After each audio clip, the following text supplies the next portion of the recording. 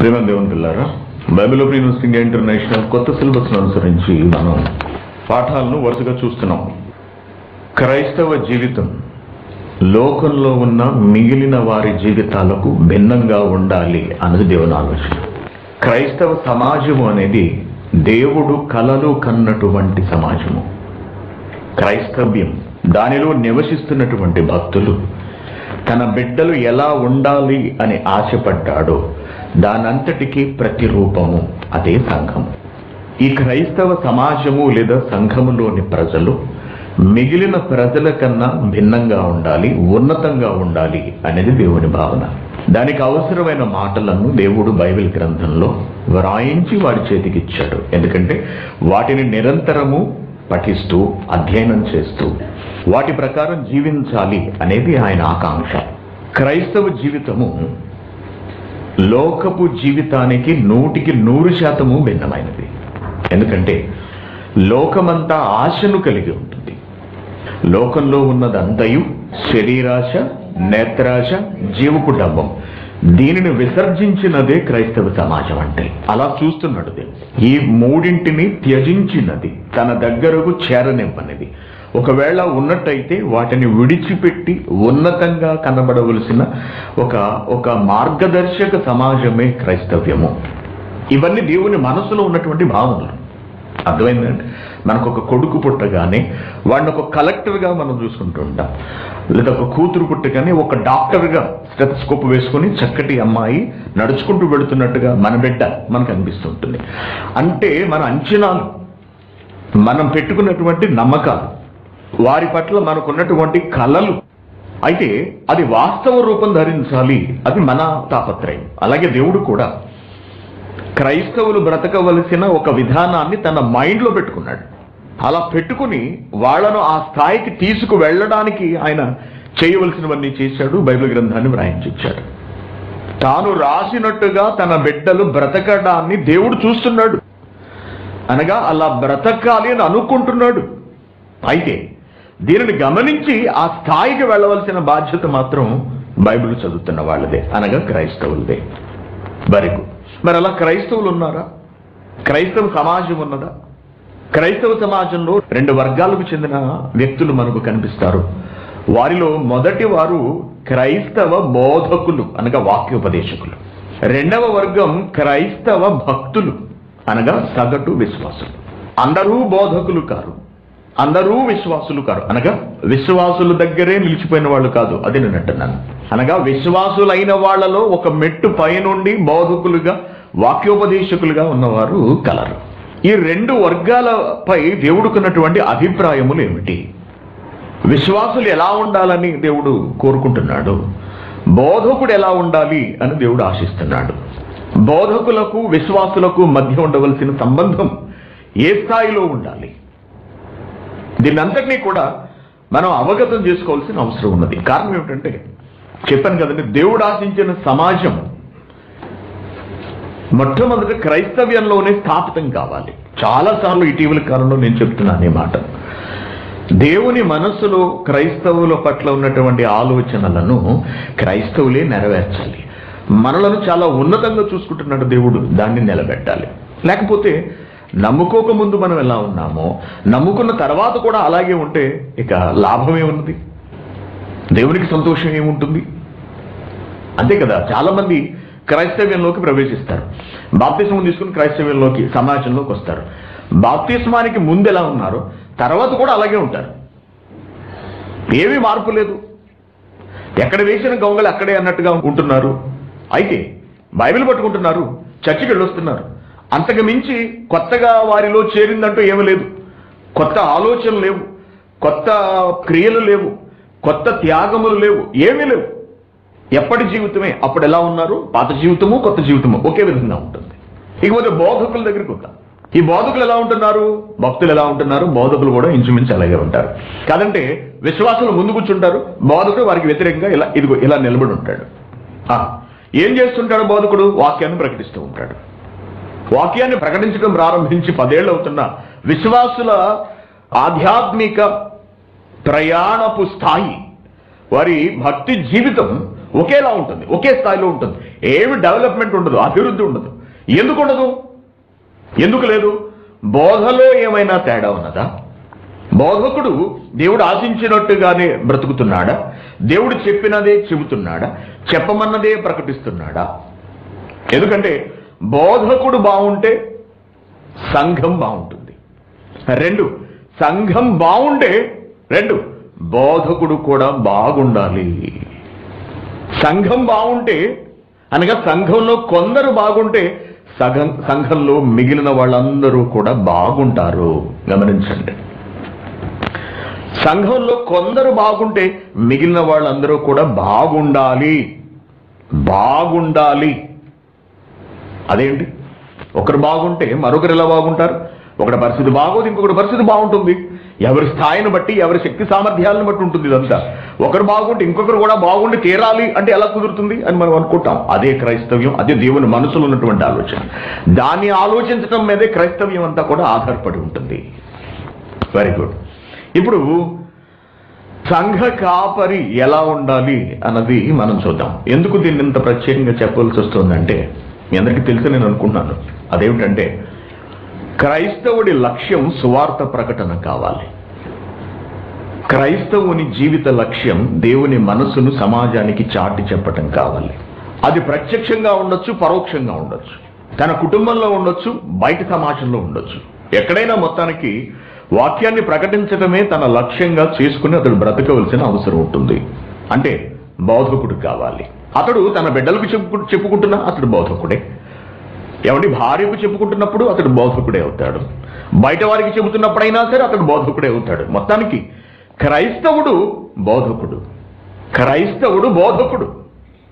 కాబట్టి బోధకుడు అనగా కాపరి. నీ కుటుంబాన్ని నువ్వు కాసుకుంటున్నావు. లేక నీ గ్రామాన్ని నువ్వు చూసుకుంటున్నావు.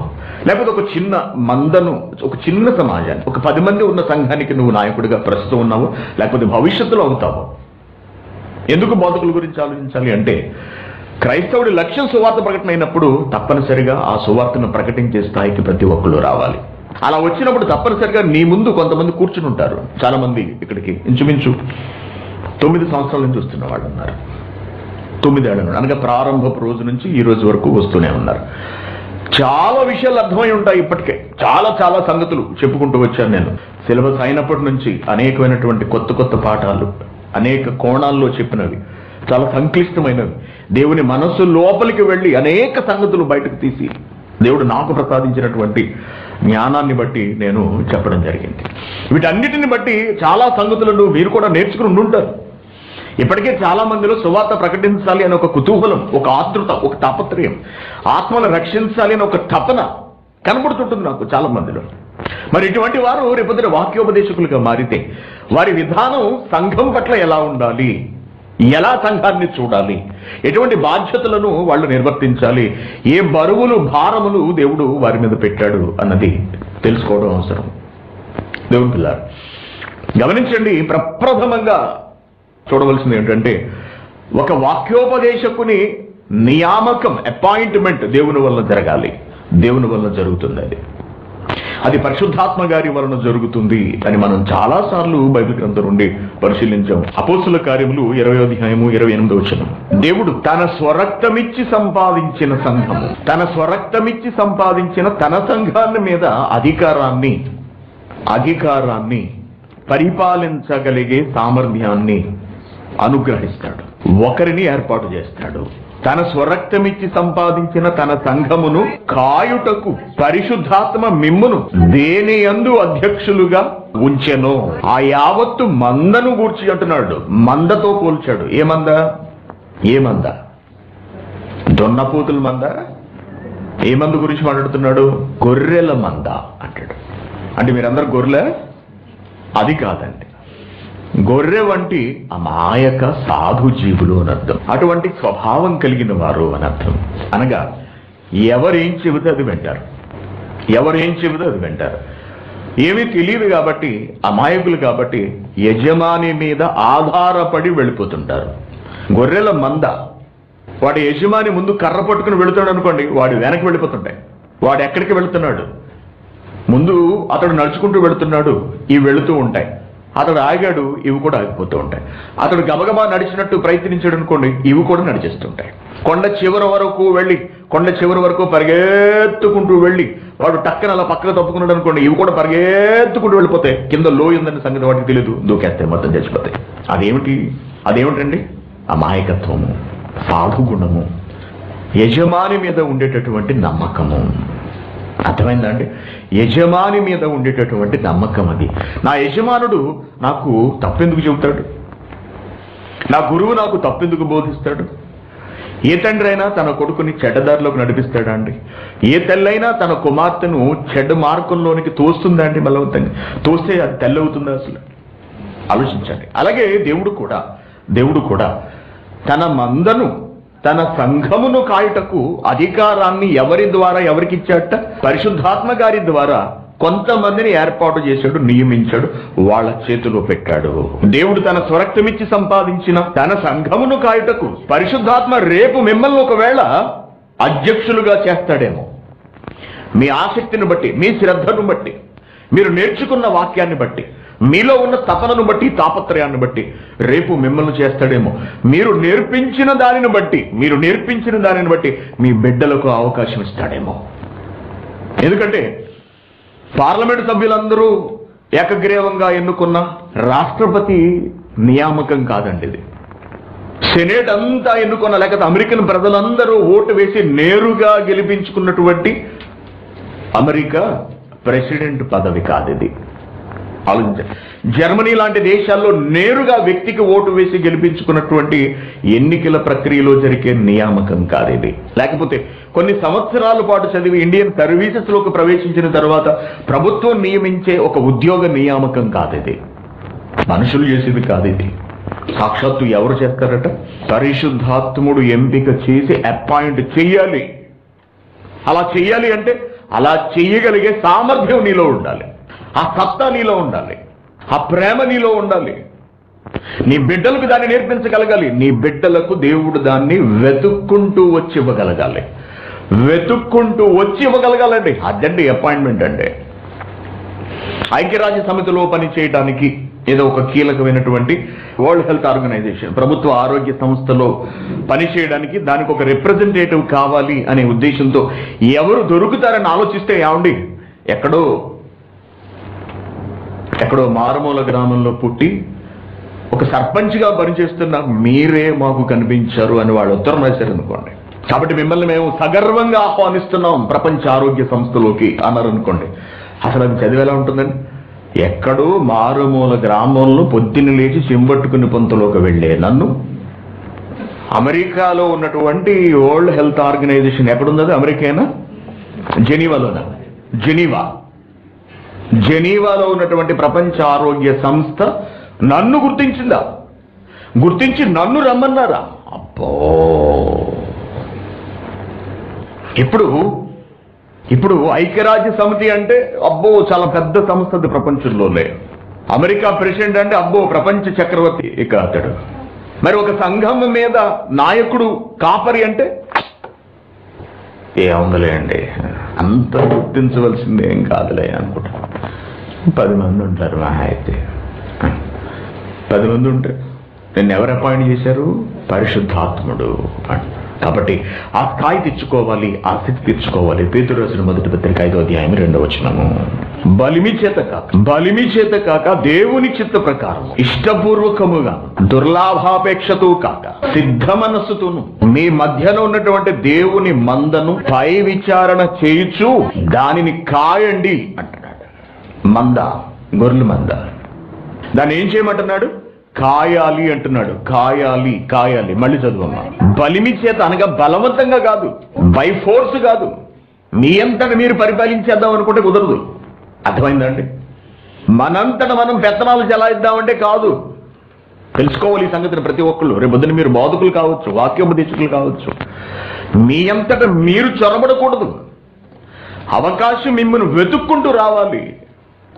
అప్పుడు ఎలా ఉండాలట? దేవుని చిత్త ప్రకారం దేవుని చిత్తం ఏమున్నది దేవుని చిత్తములు చాలా ఉన్నవి. ఒకటి కాదు రెండు కాదు మూడు కాదు నాలుగు కాదు. రెండు వేల పదకొండులో మొదలుపెట్టి ఏమండి? రెండు వేల పదకొండులో మొదలుపెట్టి ఈ రోజు వరకు ఒక్క శుక్రవారం కూడా తప్పిపోకుండా క్రైస్ట్ చర్చ్ కువైట్లో సువార్త ప్రకటింపబడింది. ఏమండి? ఒక్క రెండు నెలల పాటు నేను లేను. అలాగే కరోనా కాలంలో కరోనా సందర్భంలో ఇంచుమించు ఒక పదిహేను రోజుల పాటు అనుకుంటే మనం కలుసుకోలేదు. అక్కడ నుండి జూన్ స్టార్ట్ చేశాం. ఇంచుమించుగా మనం ప్రతి ప్రతి వారంలో అనేక సార్లు ఎలా కలుసుకుంటున్నామో అంతకు మించి జూమ్లో మనం అందరం పరోక్షంగా సమావేశమై దేవుని వాక్యాన్ని చెప్పుకుంటూ చెప్పుకుంటూ చెప్పుకుంటూ చెప్పుకుంటూ వచ్చాం. ఇంచుమించు తొమ్మిదేళ్ళు. రేపు మార్చి తొమ్మిదో తారీఖు పదకొండో తారీఖు వస్తే క్రైస్ట్ కోవైట్ ప్రారంభించి పదేళ్ళు అవుతాయండి. Ten years. దేవుడు ప్రారంభించి దేవుడు దీన్ని ప్రారంభింపజేసి పది సంవత్సరాలు పూర్తవుతాయి. దేవుని పిల్లరా ఈ పది సంవత్సరాలలో ఎన్నో సంగతులు ఎన్నో సంగతులు నేను వివరించుకుంటూ వివరించుకుంటూ వివరించుకుంటూ వెళ్ళాను. ఎక్కడా కూడా ఆ, ఇప్పుడు చదువు అర్థమవుతుంది దేవుని చిత్త ప్రకారము ఇష్టపూర్వకంగానే అన్నాడు. ఇష్టపూర్వకంగా ఇష్టపూర్వకంగా. అసలు ఆ రాత్రి నాకు నిద్ర పట్టదు తెలుసా అంటే? నిద్ర పట్టేది కాదు. ఎప్పుడు? తెల్లవారు శుక్రవారం అనగా. ప్రతి లక్ష్మీవారం రాత్రి. గుండె జల్లు అనేది మధ్యలో గుర్తొచ్చి. కారణం ఏంటి? రేపు రెండు మెసేజ్లు చెప్పాలి. మంగఫ్లో ఒకటి అబ్బాసియాలో ఒకటి. ఎప్పుడు? నా ప్రారంభపు స్థితి. నా ప్రారంభపు స్థితి. అయితే వాక్యంలో క్రమక్రమంగా క్రమక్రమంగా నేను నలిగేటప్పటికీ డెవలప్ అయ్యేటప్పటికీ కొంత తేలికపడింది ప్రాణం. అంటే మాట్లాడగలను చెప్పగలను. ఒక హింట్ దొరికితే దాని మీద మాట్లాడేయగలను నేను. మెసేజ్ని ప్రిపేర్ చేసి చెప్పగలను అనే ఒక ధైర్యం ఒక నమ్మకం వచ్చింది. చాలాసార్లు మీ- మీ అందరికీ తెలుసు తెలియదు నేను డ్యూటీ నుంచి వచ్చిన తర్వాత మూడున్నరకైతే ఇంచుమించు నాలుగు పావు అలా వచ్చేవాడిని. ఆరు గంటల కదా మన కార్యక్రమం. ఈ గ్యాప్లో తయారు చేసి చెప్పిన మెసేజ్లు చాలా ఉన్నాయి. జస్ట్ వన్ అవర్లో. ఒకే ఒక గంటలో. ఇంచుమించు అంత సమయం కూడా తీసుకోను. ఒక సబ్జెక్ట్ నా మైండ్లో ఆలోచించుకుని చెప్పడానికి. అది దేవుడు అనుగ్రహించినటువంటి ఒక దయ అంతే. కానీ ప్రారంభంలో మాత్రం వణికిపోయి ఈరోజు రోజు ఎప్పటికీ కూడా ఎప్పటికీ కూడా. రేపు మెసేజ్ ఉందని కదా నాకు ఇవాళ భయం వేస్తుంది. నమ్మో అనుకుంటాను కొత్త మెసేజ్ చెప్పాలంటే గుండె చళ్ళమంటది ఎందుకంటే దానికి చాలా ఆలోచన చాలా ప్రిపరేషన్ మీకు విషయం తెలుసా? దేవుని శక్తి స్వరూపాలు ఇంకా పెండింగ్ ఉంది. అబ్బాసీలో చెప్పిన ఐదు వారాల పాటు. చాలా సంక్లిష్టమైనటువంటి పాట చాలా టిపికల్ సబ్జెక్ట్ ఎందుకంటే సైన్స్లోంచి దాన్ని చెప్పగలగాలి. సైన్స్ను బైబిల్ను ఈ రెండింటిని అనుసంధానం చేస్తూ నేను వివరించుకుంటూ వెళ్తాను అటువంటి వాటికి టైం పడుతుంది చెప్పడం చాలా కష్టం. అయితే దీనిని అంతటినీ కూడా నేను ఎలా తీసుకెళ్ళానంటేనండి అప్పటి నుంచి ఇప్పటి వరకు కూడా అతి మిక్కిలి ఇష్టంతో మిక్కిలి ఇష్టం. నా తల్లిని కూడా చూడాలని నేను అనుకోలేదు వాక్యం చెప్పడానికి నేను ఇచ్చిన ప్రాధాన్యత అది అంత ఇష్టం. ఎందుకంటే ఒక్క వారం నా జీవితంలో నేను కోల్పోతే ఈ ప్రపంచంలో లక్షల కోట్లు ఆస్తులున్న వాళ్ళు ఉన్నారు. లక్షల కోట్లు. వాళ్ళు అన్ని లక్షల కోట్లు కుమ్మరించినా వాళ్ళకి ఒక్క వారం కూడా వాక్యం చెప్పే అవకాశం వాళ్ళ జీవితంలో లభించదు. అది దేవుని వలన రావాలి దేవుడు అనుగ్రహించాలి. దేవుని చిత్త ప్రకారము ఆయన చిత్తాన్ని నా పట్ల దేవుడు కనపరిచాడు. నేను దాని పట్ల అమితమైన ఇష్టాన్ని కలిగి ఉన్నాను. అందుకే ఒక్క వారం కోల్పోవడం ఒక్క రోజు కోల్పోవడం నాకు ఇష్టం ఉండదండి నా బ్రతుకు కాలంలో. అనగా వాక్యం చెప్పకుండా వాక్యం చెప్పకుండా దాన్ని ఇష్టంతో జరిగించాలి. ఇష్టంతో జరిగిస్తున్నారా? ఎలా జరిగిస్తున్నారట నేడు? ఇష్టపూర్వకముగాను. ఎలా జరిగిస్తున్నారు? ఈ రోజులు ఏమైపోయింది? వాక్యోపదేశము సువార్త ప్రకటన అంటే ఏమిటండి? లాభాపేక్ష దుర్లాభాపేక్ష దుర్లాభము దుర్లాభము. వాక్యం చెప్పి డబ్బు సంపాదించాలనుకుంటారు. గమనించండి వాక్య ప్రకటన ఆత్మల రక్షణ నిమిత్తం ధనార్జన కొరకు కాదు. స్వార్థ ప్రకటన డబ్బు సంపాదన కొరకు కాదు ఆత్మల రక్షణ కొరకు. దాన్ని గమనించక ఈ రోజున ఏం చేశారంటే వ్యాపారం చేసేశారు. దుర్లాభాపేక్ష. ఈ కార్యక్రమంలో మీరు కూడా పాలు పొందుకోండి అని డైరెక్ట్గా వాడు ఏం చేస్తున్నాడు? అకౌంట్ నెంబర్ ఇచ్చేస్తున్నాడు. డైరెక్ట్ అకౌంట్ నెంబర్ ఇచ్చేస్తున్నాడు. ఎవరిని అడుగుతున్నావు? నువ్వు నీ సంఘాన్ని అడుగుతున్నావా? నువ్వు నీ సంఘాన్ని అడుగుతున్నావా? ఎవరిని అడుగుతున్నావు? రోడ్డు మీద కనపడిన ప్రతి ఒక్కరిని అడిగేస్తున్నావు. టీవీలో దాన్ని పెట్టేసినట్టు దాని అర్థం ఏంటండి? వాళ్ళు నీ సంఘపు వాళ్ళ? నీ సంఘపు వాళ్ళంటే అర్థం ఏమిటి? నువ్వు గతంలో కూడా చెప్పాను కంఠనాళాలు తెగేలా సువార్తను ప్రకటించి ఒక ఆత్మను సంపాదించగలిగితే వాడు నీ సంఘం అవుతాడు. నీ కష్టాన్ని చూసి నువ్వు ప్రకటించే సువార్త ప్రకటనను బట్టి దేవుడు వాడిని నీ దగ్గరకు చేర్చాలి. తన ఆకర్షణలోనికి తీసుకోవాలి సంఘంలోకి చేర్చాలి. అది పద్ధతి అది విధానం. మరి ఈ రోజున ఏమైపోయింది? లక్షల మంది హాజరవుతారు ఒక సమావేశానికి. వారి ఒక మాస్కి హైదరాబాద్లో. లేకపోతే వేల మంది హాజరవుతున్నారు అనుకున్నా.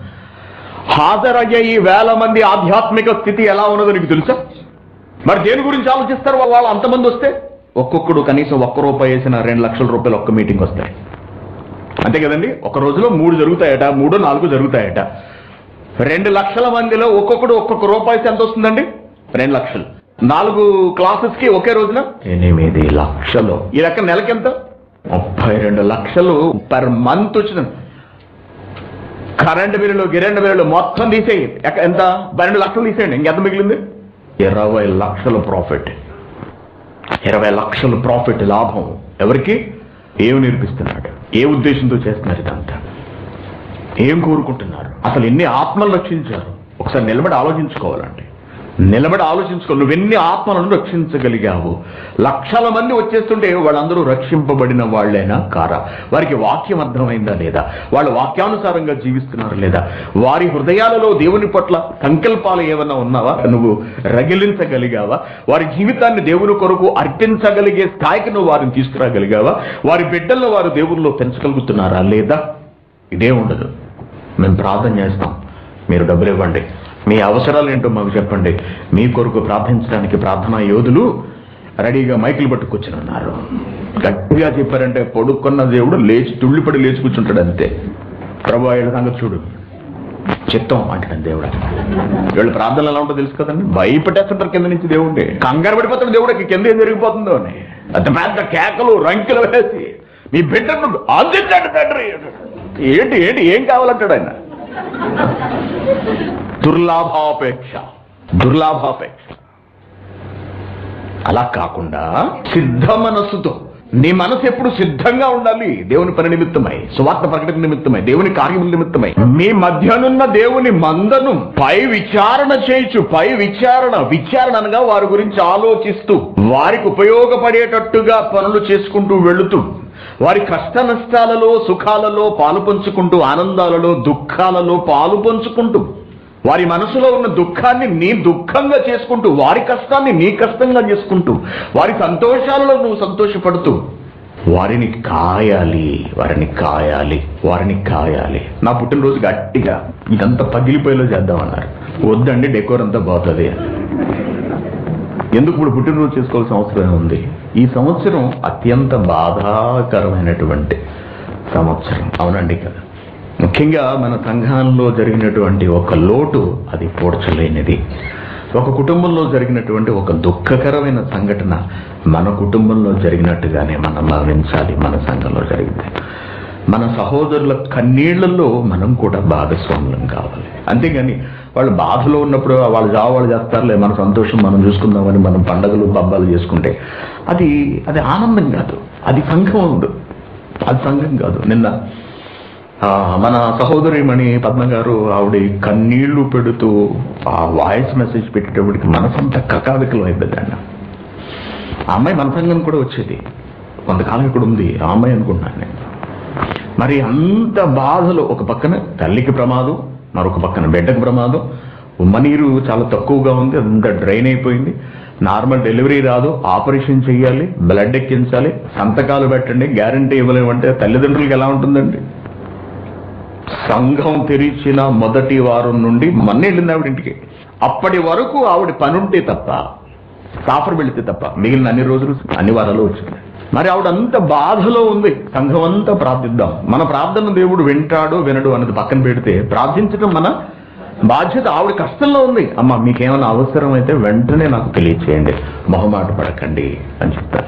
ఈరోజు ఉదయం ఆవిడ కనీసం ఆపరేషన్ కూడా పడాల్సిన అవసరం లేకుండా చక్కటి సుఖప్రసవం అయిందని చెప్పేటప్పుడు చాలా సంతోషించాం అందరం కూడా. ప్రజల కష్టంలో మనం పాలు పంచుకోవాలి నాయకుడు పాలు పంచుకోవాలి.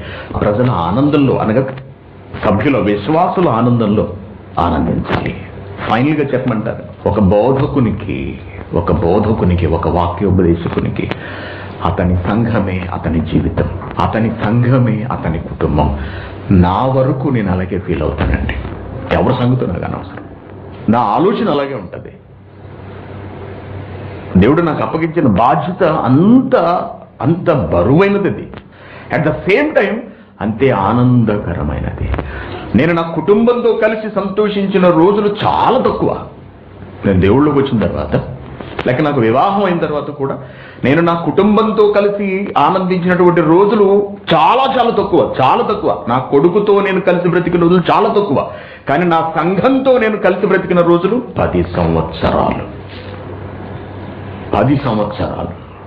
దానికి ముందు దేవుని జ్ఞానాన్ని నేర్చుకుంటూ దేవుని జ్ఞానాన్ని ప్రచురిస్తూ అనగా నేను నేరుగా సువార్త ప్రకటించక ముందు జరిగినటువంటి ఏడు సంవత్సరాలు.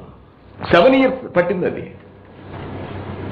అంటే మొత్తం ఇంచుమించుగా నేను అనుక కోవైట్ వచ్చినప్పటి నుంచి బైబిల్తో కలిసి బ్రతుకుతూ వాక్యంతో కలిసి బ్రతుకుతూ రాత్రనక పగలనక దాన్ని చదువుతూ తెల్లవారుజాము వరకు చదువుతలేక తెల్లవారుజాము లేచి మరీ చదువుతూ చదువుతుంటే నిద్ర పట్టక పడుకున్న వాడిని లేచి మళ్ళీ చదువుతూ రాత్రులు సిడిలు చేస్తూ దేవుని పని జరిగిస్తూ తెల్లవారుజామునే లేచిపోయి మళ్ళీ ఆ పని చేసుకుంటూ వెళుతూ ఎంతో ఇష్టంతో ఎంతో ఇష్టంతో ఎన్ని సంవత్సరాలు నేను సంఘంతో కలిసి బ్రతికాను అది చాలా ఇష్టంతో చేసింది.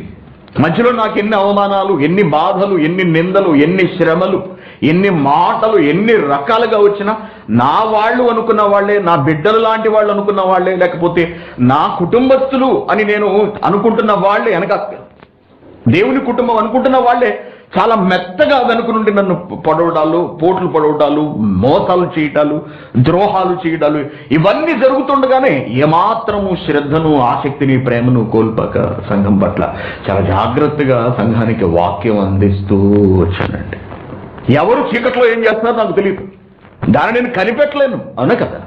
ఇప్పుడు సంఘం అంతటి మీ కాయకం అంటే ఏమిటండి? సంఘం అందరూ సమావేశమైతే మీకు నేను సత్యాన్ని చెప్పగలను. మీరు బయటికి వెళ్ళిన తర్వాత ఎక్కడ దూరారో నాకేం తెలుస్తుంది? అవునా కదా? ఫలానా వాళ్ళు ఇలా ఉన్నారు మీకు తెలుసా ఈ సంగతి? అని నన్ను అడిగితే నాకేం తెలుస్తుంది? అవునాని కదా? నేను రాత్రులు నెమ్మదిగా దొంగతనంగా చెప్పులు తీసేసి మెత్తగా నడుచుకుంటూ వెళ్ళి చీకట్లో నా ఒంటికి నల్ల రంగు వేసుకుని వెళ్ళి ఏం చేస్తారు? ఇంటింటికి వెళ్ళి చూడండి కదండి చూస్తానా కనీసం గృహ దర్శనాల కన్నా నేను ఏనాడన్నా వచ్చానండి. ఎవరైనా అనారోగ్యం బాలైతే తప్పించి. ఎందుకంటే గృహ దర్శనాల నాకెందుకు సిగ్గు అనిపిస్తుందండి అలా వెళితే డబ్బుల కోసం వచ్చారని అనుకుంటారేమో. ఎందుకంటే అటువంటి ఒక నానుడి స్థిరపడిపోయింది కదండి. గృహ దర్శనం అంటే ఫస్ట్ కానుకు చేతి పట్టుకోలేదు తర్వాత తలుపు తీయాలి. అలా తయారైపోయింది నేటి సమాజం.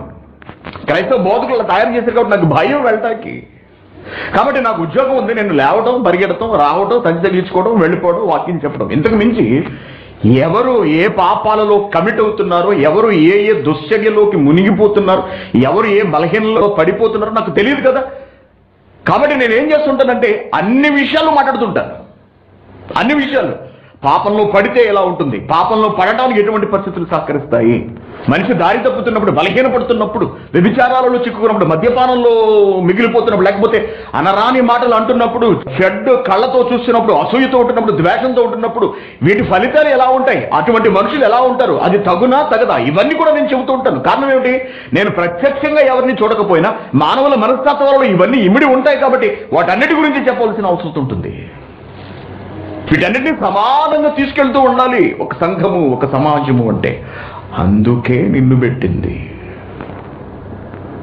అందుకే నన్ను పెట్టింది. వీడు భరిస్తాడు. వీడికి ఓపిక ఉంది వీడు సహిస్తాడు. వీడికి ఉంది వీడు నడిపించగలడు. కెపాసిటీ సామర్థ్యం క్యాలిబర్ ఉంది. అందుకే ఎక్కడి నుంచి లాక్కొచ్చాడు? విగ్రహారాధికుల కుటుంబం నుండి విగ్రహారాధికుల కుటుంబం నుండి. లాక్కొచ్చాడంతే. క్రైస్తవ్యంలోకి బై ఫోర్స్ తీసుకొచ్చి పడేసాడు అలాగా. ఆలోచించండి. కాబట్టి దేవుని పిల్లరా దుర్లాభ అపేక్షతో కాక రేపొద్దున మీ బిడ్డలు అవుతారేమో వాక్యోపదేశకులు. మీరు కూర్చోబెట్టి వాళ్ళకు ఉపదేశించగలగాలి బిడ్డలకు నాయన. సువార్త ప్రకటన జీవితం వ్యాపారం కాదు. అది దేవుడు అనుగ్రహించే భాగ్యం బై ఫోర్స్ బలిమితో లాక్కునేది కాదు. కుట్ర చేసి లాక్కునేది కాదు. బాల్య దశ నుండే నువ్వు దేవుని పట్ల ప్రేమను కనబరిస్తే దేవుడు నీకు అనుగ్రహించే ఒక గొప్ప వరం అది. ఆ స్థాయి నీకు కావాలా? బాల్య దశ నుండి నువ్వు చక్కగా జ్ఞానాన్ని నేర్చుకో. నీ మనస్సును నిర్మలం చేసుకో. ప్రతి వ్యక్తి పట్ల ప్రేమను కనబరచు. నీ గుండెల్లో ప్రేమను నింపుకో. కనబరచగలిగే అవకాశం నీకు రాకపోవచ్చు. అంత సామర్థ్యం నీకు లేకపోవచ్చు. కానీ నీ గుండెల్లో ఆ ప్రేమ ఉంటే నీ గుండెలో ఆ సహనము ఆ ఓర్పు ఉంటే తప్పనిసరిగా దేవుడు అవకాశాన్ని ఇస్తాడు. బిడ్డలకు నేర్పించగలగాలి. కాబట్టి దుర్లాభాపేక్షతో కాక దుర్లాభాపేక్షతో కాక ఇక దీని గురించి నేను మీకు చెప్పాల్సిన అవసరం మన సంఘంలో నేను లాభాపేక్షను ఎప్పుడైనా కనబరిచానా? ధనాపేక్షను ఎప్పుడైనా కనపరిచానా ఆలోచించండి ఈ ఇన్ని సంవత్సరాల్లో ఎప్పుడైనా ఎప్పుడైనా ఎప్పుడైనా అదెంత కష్టమైనా అదెంత భారమైనా నేను భరించాను. దాన్ని భరించడానికి సిద్ధపడి నేను అడిగేస్తాను ఎప్పుడు కూడా. భరించడానికి సిద్ధపడే నేను అడిగేస్తాను. అది సెమినార్ అయినా మరొకటైనా మరొకటి ఎంత ఖర్చు అయినా సరే. ఈ బేస్మెంట్ తీసేసుకున్నావు దీని అంతటికి ఎంత ఖర్చు అవుతుంది? కానీ అనుకున్నాను. మొదలు పెట్టాను. దేవుడు సహాయం చేశాడు. సెమినార్ మొదలు పెడతాను. దేవుడు సహాయం చేస్తాడు. లేకపోతే నా తిప్పలు నేను పెడతాను. నేను అనుభవిస్తాను దాని తాలూకా అంతా కూడా. అలాగే ఇప్పుడు కూడా ఇప్పుడు కూడా ఎంత వచ్చినా రాకపోయినా ఎవరిచ్చినా ఇవ్వకపోయినా నేను దానిని భరించి అడుగులు వేయడానికి సిద్ధపడే రంగంలోకి దిగుతాను. అది ఇక నా వల్ల కాదు అనుకున్నప్పుడు నేను దాన్ని నిలుపు చేసేస్తాను. చాలాసార్లు చెప్పాను నీ మాటను కాబట్టి దుర్లాభాపేక్ష సంఘంలో పనికిరాదు వాక్యోపదేశకుడికి పనికిరాదు. నీ బిడ్డల దగ్గర నువ్వేమైనా దుర్లాభాపేక్ష కలిగి ఉంటావా? నీ బిడ్డల దగ్గర నీ పిల్లల దగ్గర. ఏమండి? కలిగి ఉంటావా? ఉండవండి. వాడి డబ్బు దోచుకోవాలని మనం అనుకుంటామండి. తండ్రులముగా తల్లులముగా మన బిడ్డల సొమ్ము మనం ఏదో ఒకటి చేసి దోచుకోవాలి దొంగిలించాలి అని మనం అనుకుంటామండి. లేక వాడిని మాయ చేసి వాడిని మాయ చేసి మసిపూసి మారడుకాయ చేసి వాడికి తెలివిగా మర్దన రాసి వాడు సొమ్ము కొట్టేదాం అనుకుంటావా? ఏమన్నా అనుకుంటారంటే తల్లిదండ్రులు ఎవరైనా ఎలా భావిస్తారండి? లేకపోతే వాడి బలహీనతను సొమ్ము చేసుకుందామని ఏ తల్లిదండ్రులైనా అనుకుంటారండి నీ సంఘము నీ బిడ్డ అని నువ్వు భావిస్తే నీ ముందు కూర్చుని వాక్యం వింటున్న వారికి నువ్వు తండ్రివి అని నువ్వు ఫీల్ అయితే దుర్లాభాపేక్ష నీ మనసులోంచి నీ జీవిత కాలంలో పుట్టదు. పుట్టదు. ఎట్టి పరిస్థితుల్లో ఆలోచన రాదు అసలు. అందుకే నేను దేవుడి మీద భారం వేస్తాను సంఘం మీద భారం పెట్టాలని ఎప్పుడు అనుకున్నాను సంఘం మీద భారం పెట్టాలనుకుని ఎప్పుడు గమనించాలి మీరు? ఈ మాట చెప్పడానికి నేను ఎప్పుడు ధైర్యం వహిస్తాను. సంఘంలో ఎవరిని ఈ పనికి మీరు ఇవ్వాలి. తప్పదు మీరు ఇవ్వాలి. మీరు ఇంత ఇస్తారని మేము ఎక్స్పెక్ట్ చేస్తున్నాము. ఎందుకంటే మీకు మీకు ఉద్యోగం ఉంది. మీరు స్థితిమంతులు. సంఘంలో మీరు కాస్తో కోస్తో గొప్పగా ఉంటున్నారు కాబట్టి మీరు ఇది ఇస్తారని మేము అనుకుంటున్నాం. అని ఎవరినైనా ఎప్పుడైనా ఇబ్బంది పెట్టానా? నీ బిడ్డల మీద నువ్వు ఎప్పుడు భారాన్ని పెట్టవు. పర్వాలేదండి. ఏమన్నా మేము ఇది చేద్దాం అనుకుంటున్నాము. అని ఎవరైనా నాతో చెప్పారనుకోండి దీనికి ఎంత ఖర్చు అవుతుందండి? మీరు ఎంత ఇవ్వాలనుకుంటారో అంత ఇవ్వండి. అది ఎంత అవుతుంది అన్నది మీకు అనవసరం. అంతే కదా? మీ శక్తి ఎంత మీ కెపాసిటీ ఎంత మీరు ఇద్దాం అనుకుంటున్నారు కాబట్టి మంచి మనసు ఉంది కాబట్టి మీరు ఎంత ఇస్తే అంత ఇవ్వండి. మిగిలిన దాని సంగతి నేను చూసుకుంటాను. అంటుంటాను ఎప్పుడు తప్పించి సరే అయితే మీరు ఎంత ఇచ్చేసేయండి. మీరు ఎంత ఇచ్చేయండి అయితే? అని నేను ఎప్పుడు ఇంతవరకు ఇంచుమించు పది సంవత్సరాల క్రైస్ట్ కోవిడ్ చరిత్రలో చరిత్రలో దుర్లాభాపేక్షత కలిగి ఒక్కరోజు కూడా నేను వాక్యాన్ని చెప్పలేదు. మళ్ళీ మీకు గుర్తు చేస్తున్నాను కేవలం మన తండ్రి గారికి పంపించే సందర్భంలో మాత్రమే. అది కూడా సంవత్సరానికి ఒకే ఒక్కసారి. అది కూడా రెగ్యులర్గా ప్రతి సంవత్సరం పెట్టట్లేదు మనం. రెండేళ్ళకి ఒకసారి పెడుతున్నాం. ఒక్కొక్కసారి ప్రతి సంవత్సరం అలాగే అప్పుడప్పుడు జరుగుతూ వెళ్తుంది. అప్పుడు మాత్రమే నోరు తెరిచి మన తండ్రి గారికి ఇద్దామని అడుగుతాను దట్స్ ఇట్ ఇండియాలో ఏదో జరుగుతోంది దానికి ఇవ్వండి. లేకపోతే మరొక చోట ఏదో జరుగుతుంది దానికి ఇవ్వండి అని ఎప్పుడైనా మిమ్మల్ని అడిగానా అండి నేను? ఎప్పుడైనా? దుర్లాభాపేక్ష కాదు. అది కాదు ఉండవలసినది. దుర్లాభాపేక్షతో కాక సిద్ధ మనస్సు మీ మధ్యనున్న దేవుని మందను పై విచారణ చేయుచు పై విచారణ చేయుచు పై విచారణ చేయుచు. ఒక మాట నేను మీకు చెబుతాం అనుకుంటున్నాను. అంటే వాట్ ఈస్ క్రైస్ట్ ఇట్స్ కువైట్ నా మనసు ఎలా ఉంటుంది? అన్న రవి ఇంటి దగ్గర మీటింగ్లు పెట్టాడు. నేను అక్కడికి వెళ్ళిన తర్వాత అడిగాను ఎంత ఖర్చు అవుతుంది తమ్ముడు? ఇంచుమించు లక్ష పది వేలు లక్ష ఇరవై వేలు కావచ్చు అన్నయ్య అన్నాడు. వెరీ గుడ్ ఎంత ఉంది మరి నీ దగ్గర? అన్నాడు. ఎక్కడది ఈ డబ్బు అంటే? అప్పు చేశాము వడ్డీకి తెచ్చాము నేను ఆశ్చర్యపోయాను వడ్డీకి తీసుకొచ్చాను. ఎందుకు తీసుకొచ్చావు వడ్డీకి? నువ్వు నాకెందుకు చెప్పలేదు అన్నాడు నువ్వు నాకెందుకు చెప్పలేదు? మాటలు ఏం చెప్తారు? నా చే నన్ను పిలిపించుకున్న వాక్యం చెప్తుంటే. నా చేతిలో పెట్టాల్సింది పోయి అన్నా ఎంత తప్పైందో నాకు చెప్తారా? చెప్పలేదు. సో టోటల్ ఫైనల్గా ఎంత అయిందంటే లక్ష నలభై వేలు అయింది. అయితే ఓ పని చేయరు అవి నేను సగం డబ్బులు ఇస్తాను అన్నాను.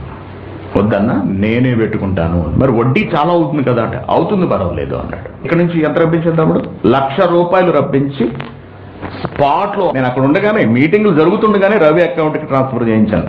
ఇమ్మీడియట్గా వెళ్ళి ఈ లక్ష రూపాయలు అప్పు తీర్చే. మిగిలిన నలభై ఐదు వేలు మీరు అడ్జస్ట్ చేసుకోండి. నీకున్నప్పుడు నాకు ఇవ్వు అని నీకున్నప్పుడు నాకు ఇవ్వు. దట్స్ ఇట్ వాక్యోపదేశకుడు ఏం చేయాలండి? వాక్యోపదేశకుడు అంటే ఏంటి అసలు?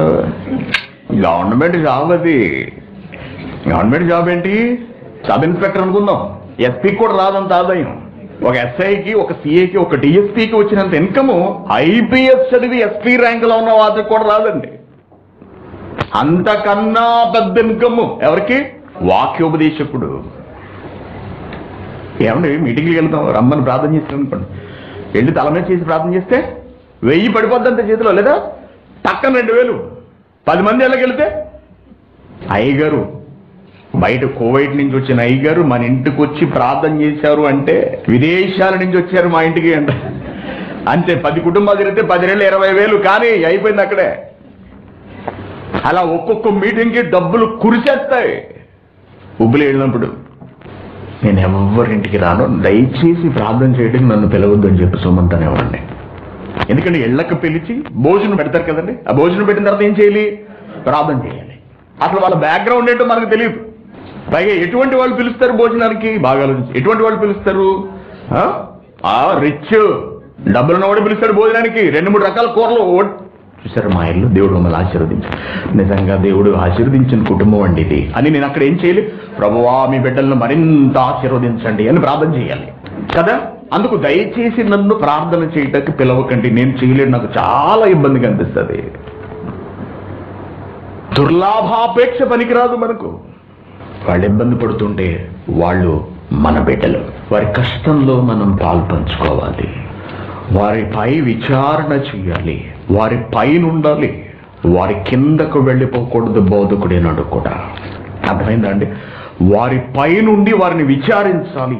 వారి జీవితాల పట్ల వారి బ్రతుకు పట్ల వారి ప్రవర్తన పట్ల విచారణ కలిగి ఉండాలి తప్పించి దుర్లాభాపేక్షతో విశ్వాసుల కిందకు పాదాల చెంతకు ఎట్టి పరిస్థితుల్లోనూ వెళ్ళిపోకూడదు. అందుకే నేను ఎవరి మాట వినను ఎవరిని లెక్క చేయను దేవుని పని దగ్గరికి వచ్చేటప్పటికి. సంఘమునకు ఏది శ్రేయస్కరమో సంఘంలోని సభ్యులందరకు ఏది అవసరమో అదే చేస్తాను. దానికి ఎంత ఖర్చు అయినా సరే ఒకవేళ దానివల్ల నష్టం వాటిల్తున్నా సరే అది సంఘానికి అవసరము అనుకున్నాం. ఖచ్చితంగా చేసి తీరుతున్నాను ఒక్కొక్కరి అభిప్రాయం ఒక్కొక్కలా ఉంటుంది. లేకపోతే ఒక ఒక ఆలోచన ఒక నిర్ణయం ఒకరికి నచ్చుతుంది మరొకరు నచ్చదండి. వీడు చేద్దామంటాడు వాడు చేయొద్దంటాడు అర్థమైందా? పది మంది కూర్చుని ఆలోచిస్తే ఒక్కొక్కడు ఒక్కొక్క విషయం తెలియజేస్తాడు. ఇది చేద్దామంటాడు ఒకడు అది అదెందుకండి అవసరం అండి ఎందుకు వచ్చిన తప్పడండి మనకి ఇవన్నీ నేను అవసరం లేదండి అంటూ ఉంటాడు. అందుకే నిర్ణయం అనేది అందరి మీద పెట్టి నేను ఎప్పుడు ఆలోచించను. అందరికీ ఏది ఉపయోగపడుతుందో ఆ నిర్ణయం నేనే తీసుకుంటాను. ఇలా చేద్దామని చెప్తాను దానికి ఎగ్జాంపుల్ ఏంటి? సెమినార్ దానికి ఎగ్జాంపుల్ సెమినార్ వారి పైనుండి విచారణ వారి ఆత్మకు మీ అందరి గురించి ప్రప్రథమంగా నేను ఆలోచించవలసింది ఏంటో తెలుసా? మీ ఆత్మ ఎలా బలపడుతుంది లేక కొత్తవారైతే ఎలా రక్షింపబడుతుంది?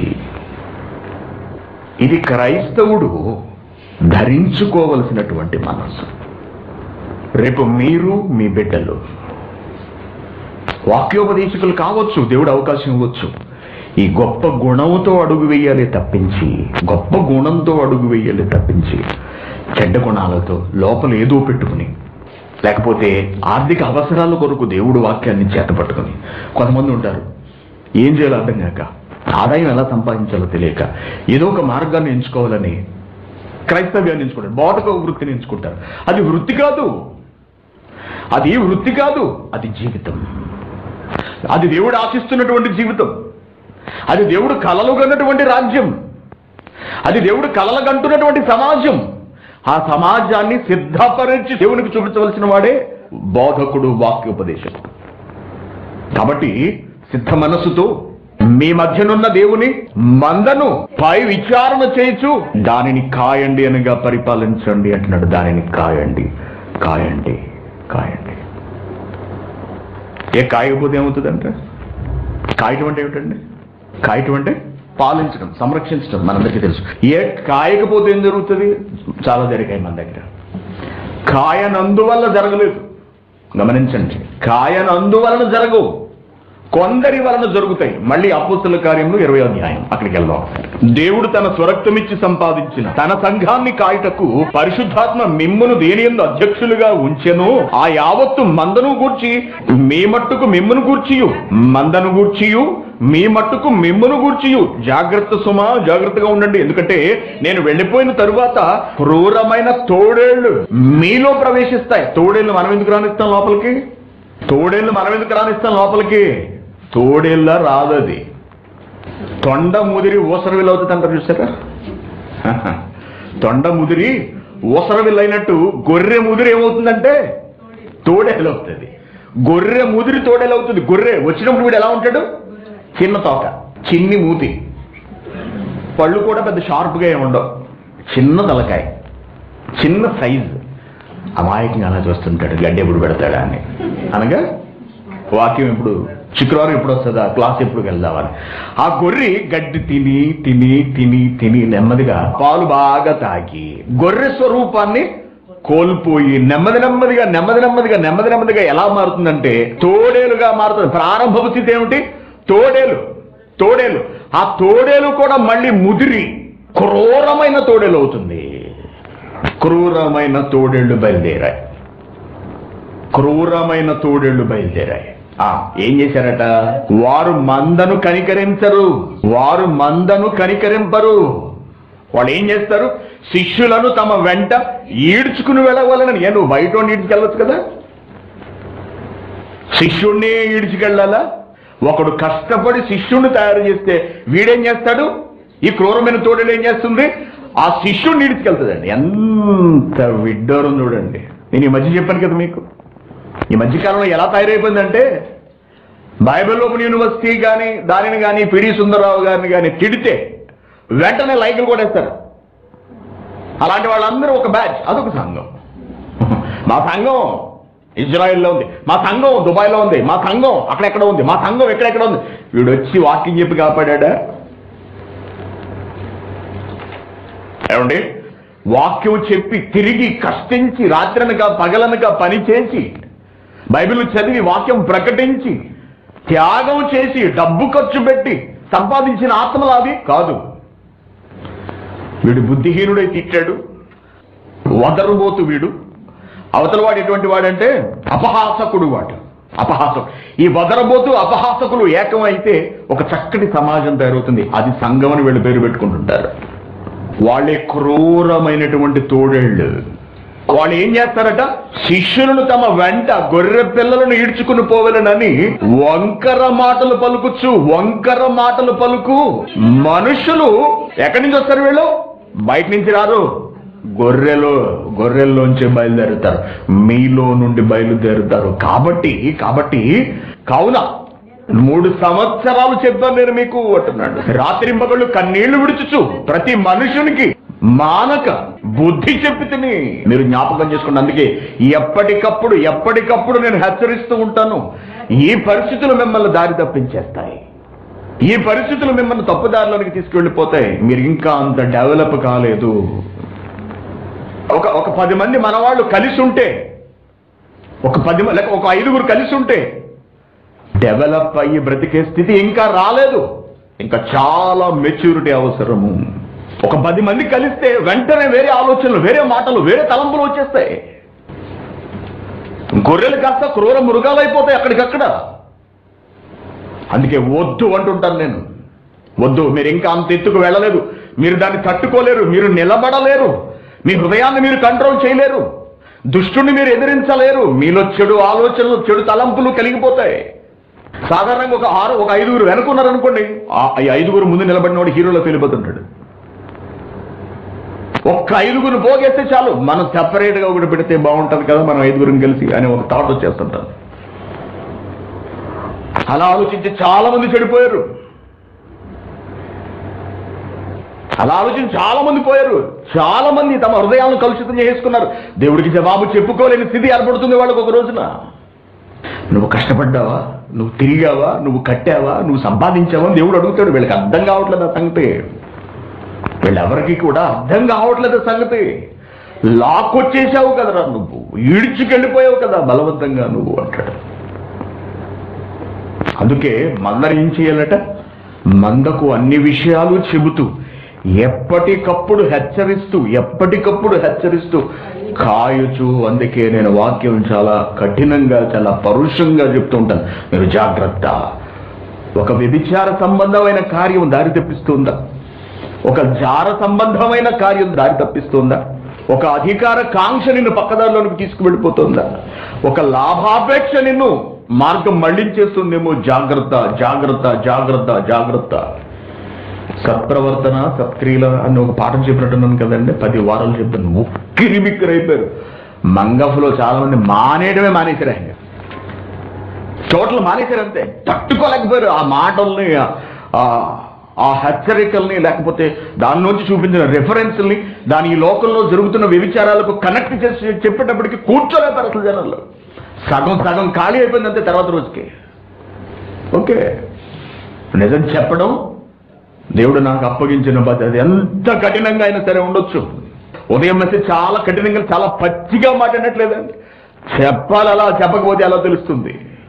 అది పై విచారణ చేయటం అంటే. మీ ఆత్మకి ఏది అవసరమో అది చెప్పాలి. అంతేగాని నాకేది అవసరమో అది చెప్పకూడదు మీకు. వాక్యోపదేశకుడు ఆత్మలకు అవసరమైనది. ఆత్మ బలపడడానికి అవసరమైనది చెప్పాలి తప్పించి వీడు బలపడిపోవడానికి చెప్పుకుంటే ఎలాగా? కాబట్టి మందను పై విచారణ చేయండి. మందను కాయండి అని దేవుడు చెబుతున్న దానికి అర్థం ఇది. కాబట్టి దేవుని పిల్లారా ఇది నూతన నిబంధన క్రైస్తవ్యం. అర్థమైందా అండి? ఇదంతా ఏమిటో తెలుసా? దేవుని మనస్సులో ఉన్నటువంటి నూతన నిబంధన క్రైస్తవ్యం. ఇది పాఠం పేరు.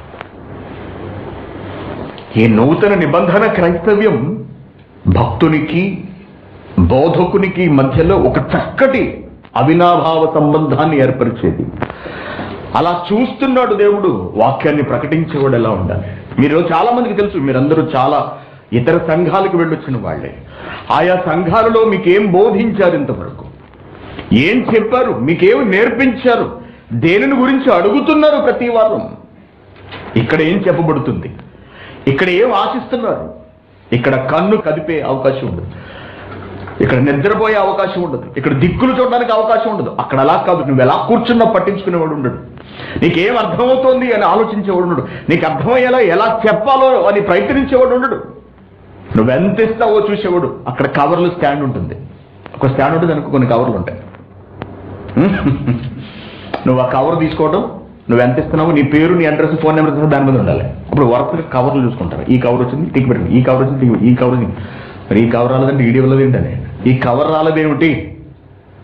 వెంటనే వాడికి ఫోను. అయ్యారు దది ఎలా ఉన్నారు? బాగున్నారా? ఈ దశం భాగం రాలేదేంటి? దశం భాగాల గురించి బోధలు కానుకల గురించి బోధలు. ఇవ్వండి ఇవ్వండి ఇవ్వండి. ఇవ్వమని అడగాల? నువ్వు ఇవ్వవలసింది వాళ్ళకి ఇవ్వు నీకు ఇవ్వవలసింది వాళ్ళు ఇచ్చేస్తారు. అంతే కదండి? అంతే కదా? వచ్చిన విశ్వాసులందరికీ కావాల్సింది ఏమిటి? బలమైన వాక్యం. దాన్ని వాళ్ళకి ఇవ్వు అప్పుడు విశ్వాసులు ఒక్కర్లేదు. నీకు దేవుడు ఇచ్చేస్తాడు. నీకు తినడానికి లోటు చేయడు దేవుడు. ఉండడానికి లోటు చేయడు దేవుడు. అంతకుమించి నీకు ఇంకేం కావాలి? ఇంకేం కావాలి?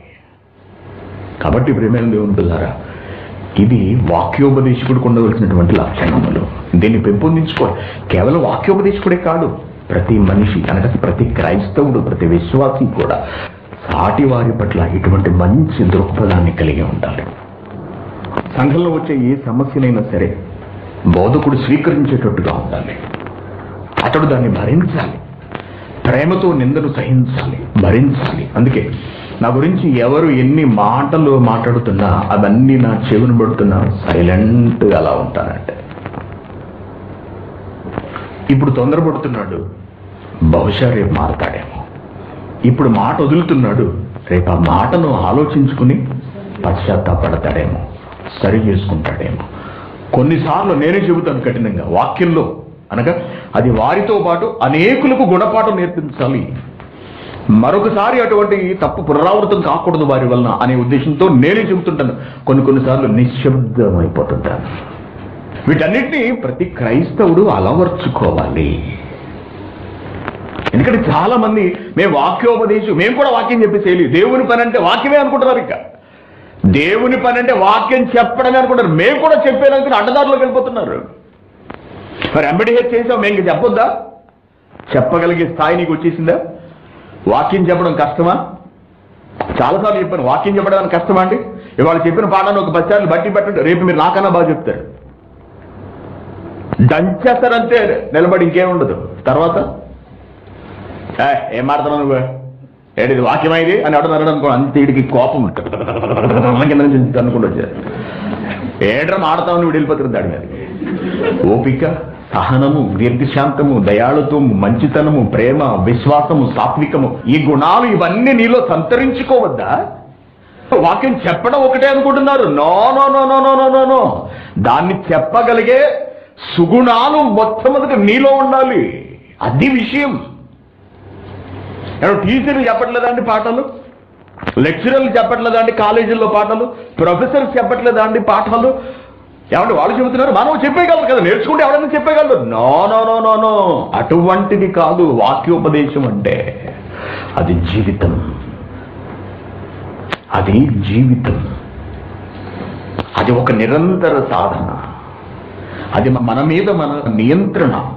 అర్థమైందండి మన మీద మనం నియంత్రణ తెచ్చుకోవడం మన హృదయం మీద మన శరీరం మీద మన తలంపుల మీద మన సమస్తము మీద మనం నియంత్రణ తెచ్చుకోవడం అంతే తప్పించి ప్రతి దానికి తొందరపడిపోవడం త్వరపడిపోయి బాధ మాట్లాడేయడం త్వరపడి బాధపడిపోవడం త్వరపడి కోపపడిపోవడం దీర్ఘశాంతాన్ని కోల్పోవడం ప్రేమ లేకపోవడం దయాళుతో ఇది కాదు. ముందు వీటిని పెంపొందించుకోవాలి. ఇది వాక్యోపదేశకునికి ఉండవలసినటువంటి గొప్ప లక్షణాలు సుగుణాలు. వెరీ గుడ్ ఇకపోతే సెకండ్ పార్ట్లోకి వెళ్దాం. మంద ఎలా ఉండాలి? ఓకే వెరీ గుడ్ ఇక్కడతో ఈ పాఠాన్ని మనం ఆఫ్ చేద్దాం. నూతన నిబంధన క్రైస్తవ్యం నూతన నిబంధన కాలంలో వచ్చినటువంటి క్రైస్తవ్యం స్థాపింపబడిన క్రైస్తవ్యం ఎలా ఉండాలి? ఎలా ఉండాలని దేవుడు కోరుకుంటున్నాడు అనే విషయాల్లో మనం పరిశీలిస్తున్నప్పుడు మొట్టమొదట బోధకుడు విశ్వాసి. క్రైస్తవ్యం అంతా ఇలా రెండు భాగాలుగా విభజితమైనది కూర్చుని వినే విశ్వాసి వాక్యాన్ని ప్రకటించే బోధకుడు. వీరిద్దరి మధ్యలో ఉండవలసినటువంటి అవినాభావ సంబంధం ఆ బంధం ఎలా ఉండాలి? ఒకరి పట్ల ఒకరు ఎలా వ్యవహరించాలి అన్నది ప్రధానంగా ఆలోచించవలసినటువంటి విషయం. దీనంతటికీ ఆధారము మూలము మనకు బైబిల్ గ్రంథమే. బైబిల్లో ఉన్నటువంటి క్రొత్త నిబంధనపు చరిత్ర మనం అధ్యయనం చేసినప్పుడు నాటి సంఘాల వాళ్ళు ప్రవర్తించినటువంటి తీరును మనం పరిశీలించినప్పుడు మనం ఎలా ఉండాలో మనకు అర్థమవుతుంది. నాటి సంఘాలు ఎలా నడుచుకున్నాయి?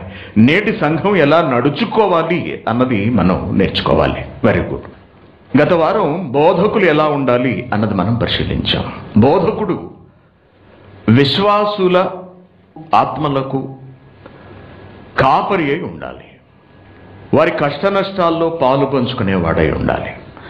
వారి ఆత్మలను పరలోకానికి చేర్చడానికి నిరంతరము తన వాక్కులతో ప్రయత్నించేవాడై ఉండాలి.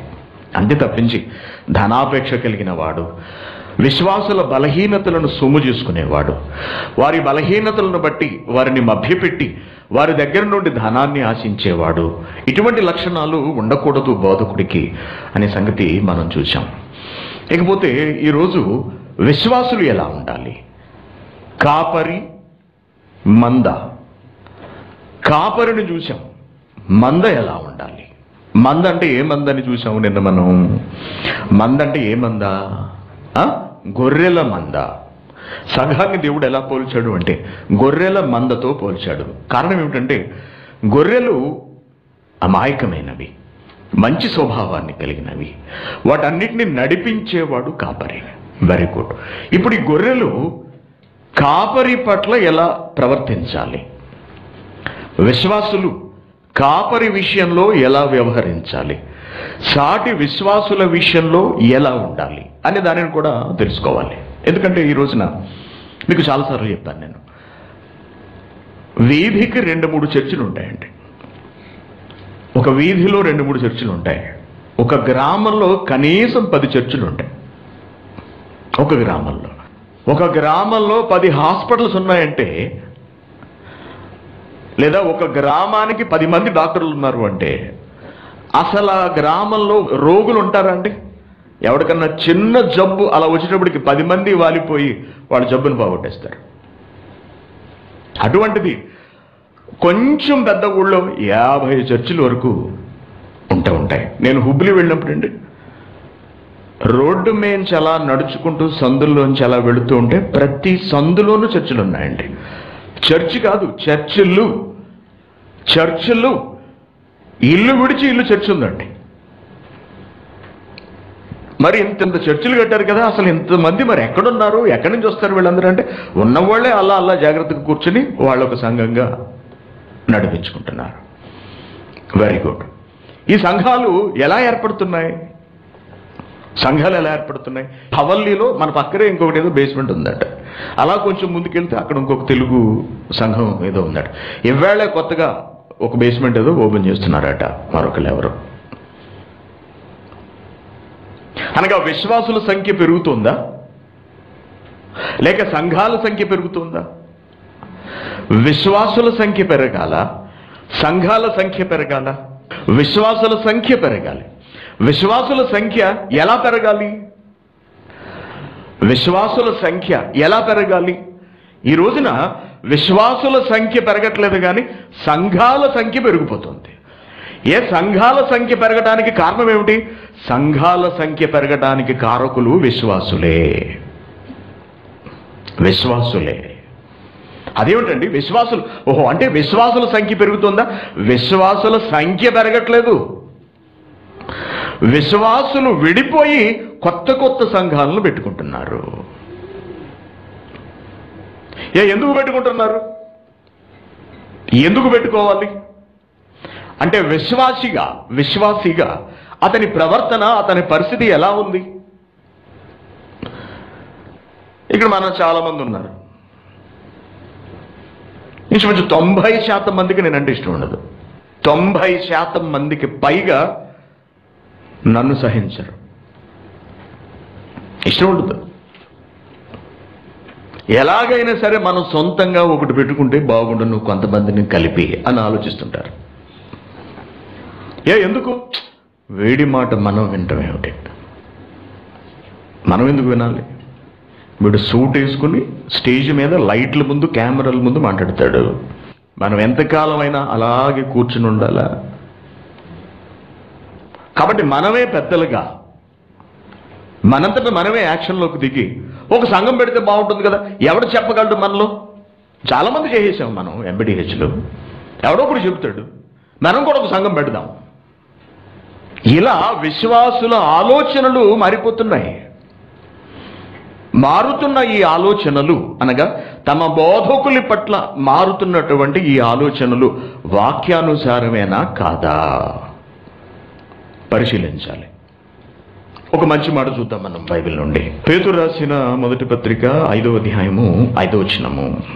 చిన్నలారా మీరు పెద్దలకు లోబడి ఉండండి అంటున్నాడు. చిన్నలారా చిన్నలు అంటే ఎవరు? వయసులో చిన్నపిల్లలు ముగ్గురికి ఎందుకు వచ్చారు చూసారా వీళ్ళు కాదండి. చిన్నలు అంటే ఎవరు? పెద్దల ముందున్న వాళ్ళు. పెద్దలు కాని వాళ్ళు. మొదటి వచ్చిన తోటి పెద్దను అన్నాడు చూడండి. ఎవరు? పేతురు. తోటి పెద్దను క్రీస్తు శ్రమలను గూర్చిన సాక్షిని బయలుపరచబడవు మహిమలో పాలువాడునైన నేను మీలోని పెద్దలు హెచ్చరిస్తున్నాను. అని బలిమి చేత కాక దేవుని చిత్త ప్రకారము ఇష్టపూర్వకముగా దుర్లాభాపేక్షతో కాక సిద్ధ మనసుతో మీ మధ్యనున్న దేవుని మందను పై విచారణ చేయించు. దానిని కాయండి.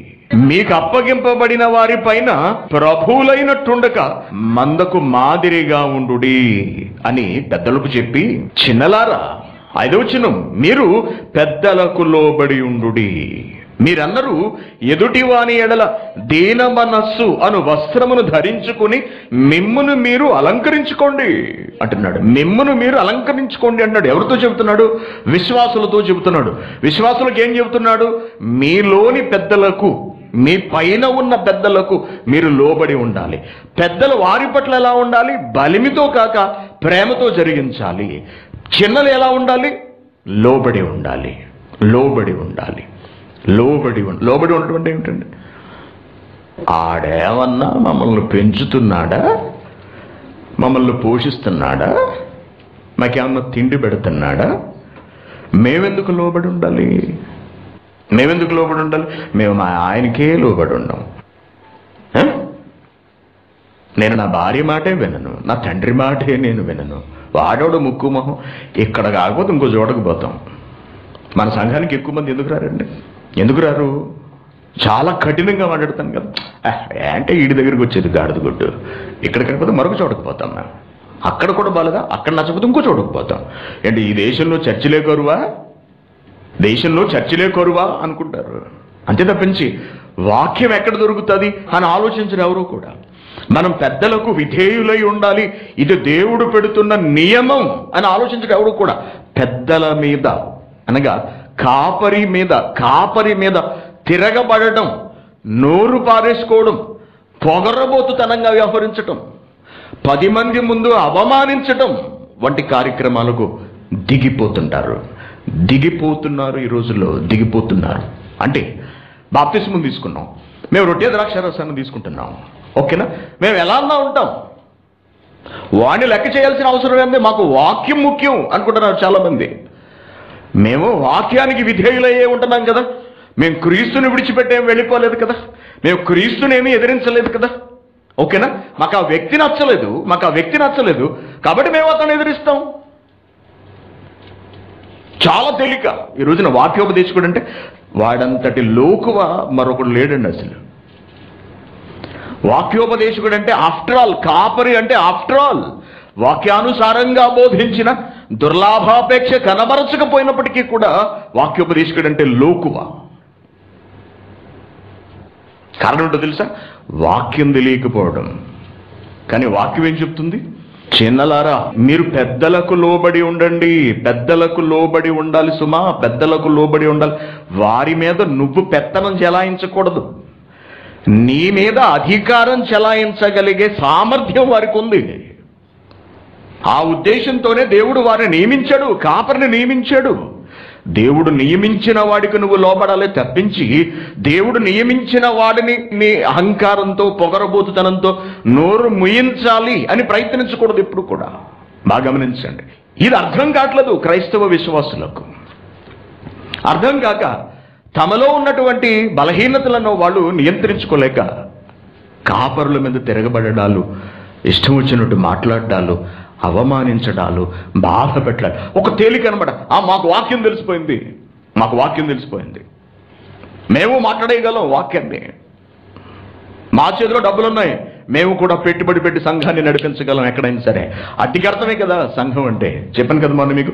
వంద దినారులు ఉంటే ఒక సంఘాన్ని నడిపేయచ్చు ఈరోజు కువైట్లో పరిస్థితి. నెలకు వంద దినారులు. వెళ్ళిపోతుంది సంఘం. అంత తేలిక. వాక్యానుసారమైన ప్రవర్తనేనా ఇది పరలోకానికి రాణిస్తాడా రేపు నువ్వు అక్కడికి వచ్చిన తర్వాత దేవుడి మీద తిరగబడేవని గ్యారంటీ ఏమిటి?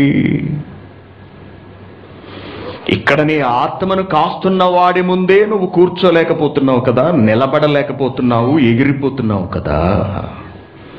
ఇక్కడ నీ ముందు సూట్ వేసుకుని మాట్లాడుతున్న వాడినే నువ్వు రెండు కళ్ళతో చూడలేకపోతుంటే మహావైభవంతో వెలుగే దేవుణ్ణి నువ్వు రెండు కళ్ళతో చూడగలవా అసలు అక్కడ చూడగలరా? దేవదూత అలా తయారవడానికి కారణం ఏమిటో తెలుసా అండి? దేవుణ్ణి చూడలేకపోయాడు వాడు. దేవుడు వైభవాన్ని చూడలేకపోయాడు. ఆయన టీవీని ఆయన దర్పాన్ని ప్రతి ఒక్కరూ ఆయన ముందు శిరస్సు వంచి నిలబడ్డాన్ని వాడు చూడలేకపోయి నాకు కావాలి ఆ స్థానాన్ని అనుకున్నాడు. మరి ఒక ఒక వంద రెండు వందలు ఐదు వందల మంది ఉన్న చోటే నీ కాపరిని నువ్వు రెండు కళ్ళతో చూడలేకపోతుంటే వాక్యానుసారమైన కాపరి ప్రతి ఒక్కడి గురించి మాట్లాడలేదు వాక్యానుసారమైన బోధ చేసేవాడిని బ్రతికేవాడిని నువ్వు రెండు కళ్ళతో చూడలేకపోతుంటే రేపు దేవుణ్ణి ఎలా చూడగలవు ఎలా సహించగలవు? అంటే సాతానులాగా వేరు కుంపట అక్కడ కూడా పెడతావన్నమాట. అతడు మాకు నచ్చలేదండి. ఆయన ప్రవర్తన మాకు నచ్చలేదండి. అందుకే మేము వెళ్ళిపోతాం. వేరే సంఘం పెట్టుకుంటాం. మీ నాన్న ప్రవర్తన నీకు నచ్చలేదు. వెళ్ళిపోతావా కొంపలోంచి నీ కొడుకు ప్రవర్తన నీకు నచ్చలేదు. గంటేస్తావా ఇంట్లోంచి బయటికి? నీ భార్య ప్రవర్తన నీకు నచ్చలేదు. ఆమెను సరి చేసుకోవడానికి ప్రయత్నిస్తావా? తరిమేస్తావా ఇంట్లోంచి? లేకపోతే నువ్వు వదిలి వెళ్ళిపోతావా? ఏమండి? ఆలోచించండి. ప్రవర్తన మీకు నచ్చకపోతే నచ్చలేదు. ఈ ప్రవర్తన మంచిది కాదేమో ఆలోచించండి అని తెలియ చెప్పడం మంచిది.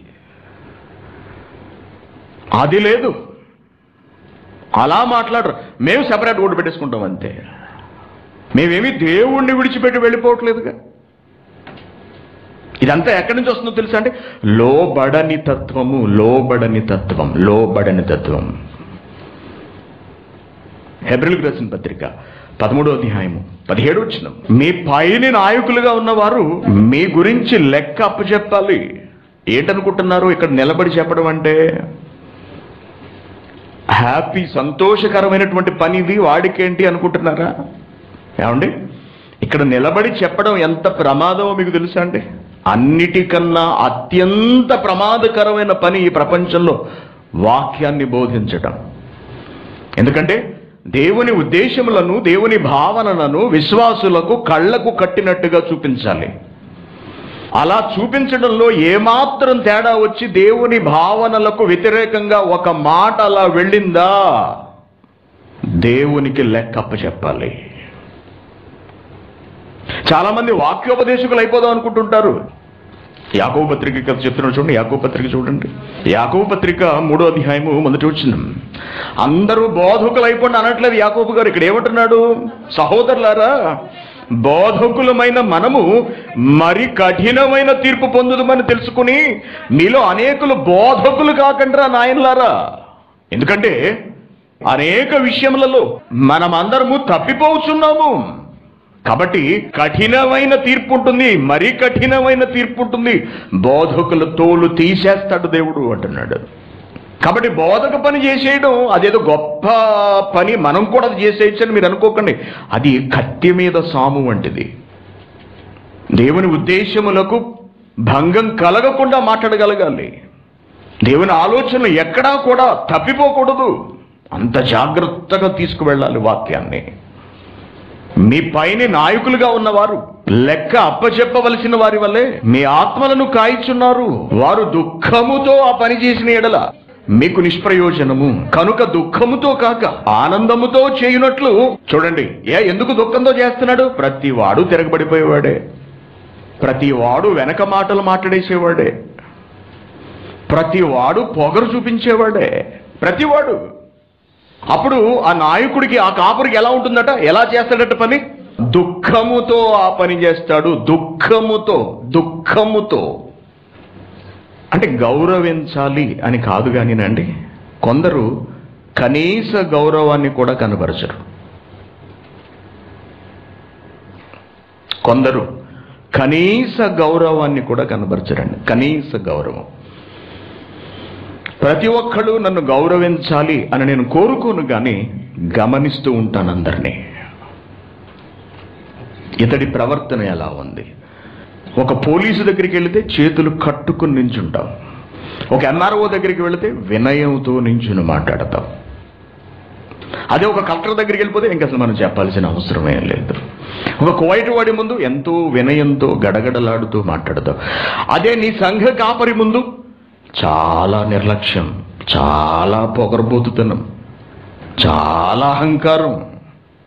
అంటే దేవుడు నీకు నియమించిన నీ కాపరి మీద నీ పెత్తనం. ఇది ఎక్కడ విడ్డోరు అండి అసలు? ఇటువంటి ప్రవర్తనలు ఉండేటప్పటికీ కాపరుల స్థితి ఎలా ఉంటుందంట? చెప్తున్నాడు చూడండి.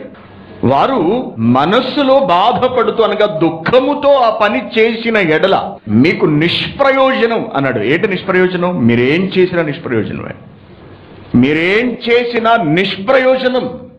దేవుడు కొరకు చేసే ప్రతి పని బూడిదలో పోసిన పన్నీరు అన్నాడు అంతే నువ్వు నీ కాపరిని గౌరవించని వాడివి నీ కాపరికి లోబడని వాడివి. నాకేదో చేసేస్తానంటావేంటి? నీకు ఇమ్మీడియట్గా ఎవరిని పెట్టాను నేను? ఇమ్మీడియట్ ఇమ్మీడియట్ బాస్ ఎవరు నీకు? నీ కాపరి. నీ కాపరి నీకు ముఖ్యుడు ప్రప్రథమం. ఆ తర్వాత నీకు ఎవరైనా. దేవునికి కానుక వేసేస్తాను. మా కాపరిని ఆహా నాకు ఇష్టం ఉండదండి అతన్ని మీరేమైనా చెప్పండి. నీ ఇష్ట ఇష్టాలతో ఇక్కడ ఎవడు నిలబడి లేడు కదా అంతేనా అండి? యేసుక్రీస్తు గారు మన ఇష్ట ఇష్టాలతో పంపబడ్డారా అండి? ఆ? అక్కడ యూదులందరి ఇష్టాన్ని బట్టి ఓట్లు పెట్టి నాయన మీరు ఒకటి సెలెక్ట్ చేసుకున్న వాడిని నిలబెడతానని తండ్రి అని దేవుడు ఏమన్నా అన్నాడా? లేదే. కాపరిని ఎవరు నియమిస్తారు? అని బైబిల్లో చూసాం మనం. చాలా శ్రద్ధగా అందరూ వినాలి. చర్చికి వెళుతున్నాం వచ్చేస్తున్నాం కాదు. అర్థమైందా? చర్చికి వెళ్ళం చేసినంత మాత్రం చేత మనం దేవుడిని గౌరవించేసినట్లు లెక్క కాదు దేవుడికి లోబడిపోతున్నట్టు లెక్క కాదు. పరలోకం వెళ్ళిపోతామన్న గ్యారంటీ కూడా లేదు. తెలుసుకోవాలి ప్రతి ఒక్కళ్ళు. ప్రవర్తనను కనిపెడుతూ ఉంటాడు దేవుడు. ప్రవర్తనను కనిపెడుతూ ఉంటాడు. కాబట్టి దుఃఖముతో ఆ పని చేయకూడదు అంటున్నాడు. దుఃఖంతో ఆ పని చేయకూడదు. గనుక దుఃఖముతో కాక దేవుని పని ఆనందంతో చేయాలి. పుస్తకం ఎంతమంది చదువుతున్నారు అని అడిగినప్పుడు చాలామంది చేతులెత్తుతున్నారండి ఒక పుస్తకం రాయండి. ఒకటి రాయండి. రాసి చూడండి. రాసి చూసి దాన్ని ప్రింట్ చేయించండి. దాని డిజైన్ చేసి ప్రింట్ చేయించండి. దానిలో ఎంత కష్టం ఉన్నదో మీకు అర్థమవుతుంది. ఇది దేని వల్ల జరుగుతుందో తెలుసా అండి? సురేష్ అనే వ్యక్తి వలన జరగట్లేదు. ఇది సువార్త ప్రకటనకు దేవుడు ఏర్పరిచిన ఒక సాధనం. ఒక సాధనం ఇది. అర్థమైందా? ఇదేదో నా గొప్పదనాన్ని చెప్పుకునే పుస్తకం కాదండి. ఎవరి ఘనతను చాటుతున్నాం మనం? ఎవరి ఘనత ఇది? తండ్రి అయిన దేవుని ఘనతను చాటి చెప్పి ఒక సాధనం ఇది. ఎవరు తీసుకోవట్లేదు అంటే చాలా ఆశ్చర్యం అనిపిస్తుంటుంది తెలుసా అండి నాకు? నాకు బాధ కలుగుతుంటుంది. తర్వాత పుస్తకం రాయడానికి నాకు ఇంట్రెస్ట్ ఉంటుందా ఉండదా? ఉంటుందా ఉండదా? ఉండదు. అయినా సరే నేను రాస్తున్నాను. కారణం ఏంటో తెలుసా? దేవుని కొరకు నేను రాస్తున్నాను ఎందుకంటే నేను దేవునికి లెక్క అప్పు చెప్పుకోవాలి నీకు అప్పు చెప్పిన పని నువ్వేం చేసావని దేవుడు నన్ను అడుగుతాడు. నన్ను అడుగుతాడు. నేను సమాధానం చెప్పుకోవాలి. కాబట్టి నేను రాసుకుంటూ వెళుతాను నా బాధ్యతను నేను నిర్వర్తిస్తాను. మరి మీ బాధ్యతను మీరు నిర్వర్తించకపోతే దేవుడు ఊరుకుంటాడా? ఆలోచించడు వాడు అలాగే అడుగుతుంటాడు ప్రతి వారం. మనం ఏదోటి చెప్పి ఆ సమయానికి నవ్వి కాముగా వెళ్ళిపోవటమే. అనుకుంటున్నారు మీరు. మీరు అనుకుంటున్నారు అలానే కానీ మీ భక్తి అంతా ఏమైపోతుందని చెబుతున్నాడు ఇక్కడ? నిష్ప్రయోజనము నిష్ప్రయోజనము నిష్ప్రయోజనము నిష్ప్రయోజనం. నీ కాపరికి లోబడిన నీకు పరలోకం దేనికి రా నాయన? ప్రశ్నిస్తాడు దేవుడు. నీ కాపరి చెప్పిన మాట వినని నీకు పరలోకం దేనికి బిడ్డ? అడుగుతాడు దేవుడు. అది కాదు ప్రభా ప్రార్థన చేశాను. అది కాదు ప్రభా కానుకిచ్చాను. అది కాదు ప్రభా కానుక పంపించాను. ఇంకొకటి ఏదో చేశాను ఇంకొకటి ఏదో చేశాను. కాపరి చెప్పింది చేశావా? నీకు నచ్చింది నువ్వు చేసుకుంటూ వెళుతున్నావా? ఆలోచించండి. కాపరి మీద అలిగి సంఘం మానేస్తున్న వాళ్ళు చాలామంది ఉంటారు మనలో. కాపరి మీద అలిగి కాపరి మీద అలిగి సంఘాలు మానేస్తుంటారు. అంటే అంత చవకబారుది సంఘం అంటే అంత చీప్ అయిపోయిన వాడు కాపరంటే ఒక వంద సార్లు అడుగుంటాను సంఘానికి రండి అని. వంద సార్లు మెసేజ్లు పెట్టుంటాను ఫోన్లు చేసుంటాను సంఘానికి రావాలి. మీరు బాప్తిస్మం తీసుకున్నారు మీరు సంఘానికి రావాలి. సంఘం ముందు హాజరు కావాలి దేవుని ముందు హాజరు కావాలి. చాలాసార్లు చెప్పుంటాను అయినా సరే మంకు పట్టు అహంభావం పొగరు నిర్లక్ష్యం గర్వం ఎవరి మీద చూపిస్తున్నారో తెలుసా?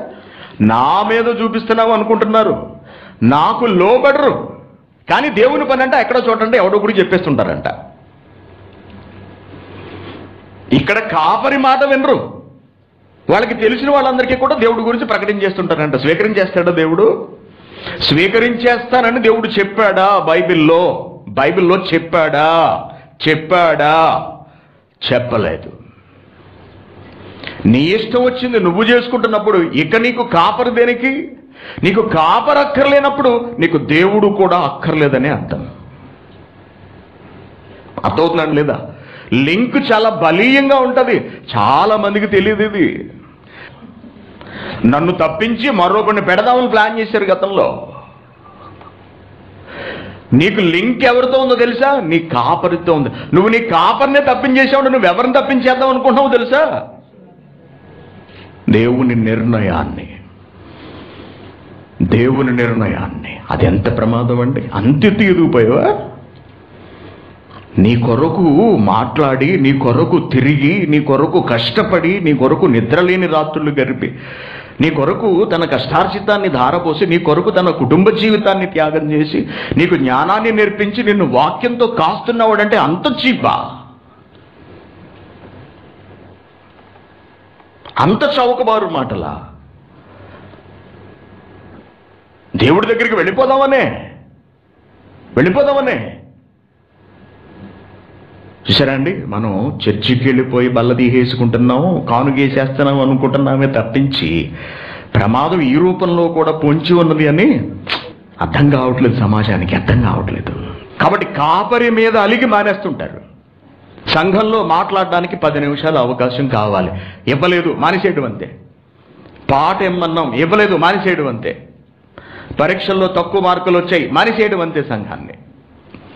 ఇదేంటని ప్రశ్నించాడు లేకపోతే తిట్టాడు సంఘంలో తిట్టాడు మానేసేయడం అంతే. ఎవరి మీద అలుగుతున్నారు? ఎవరికి నష్టం? ఎవరికి నష్టం?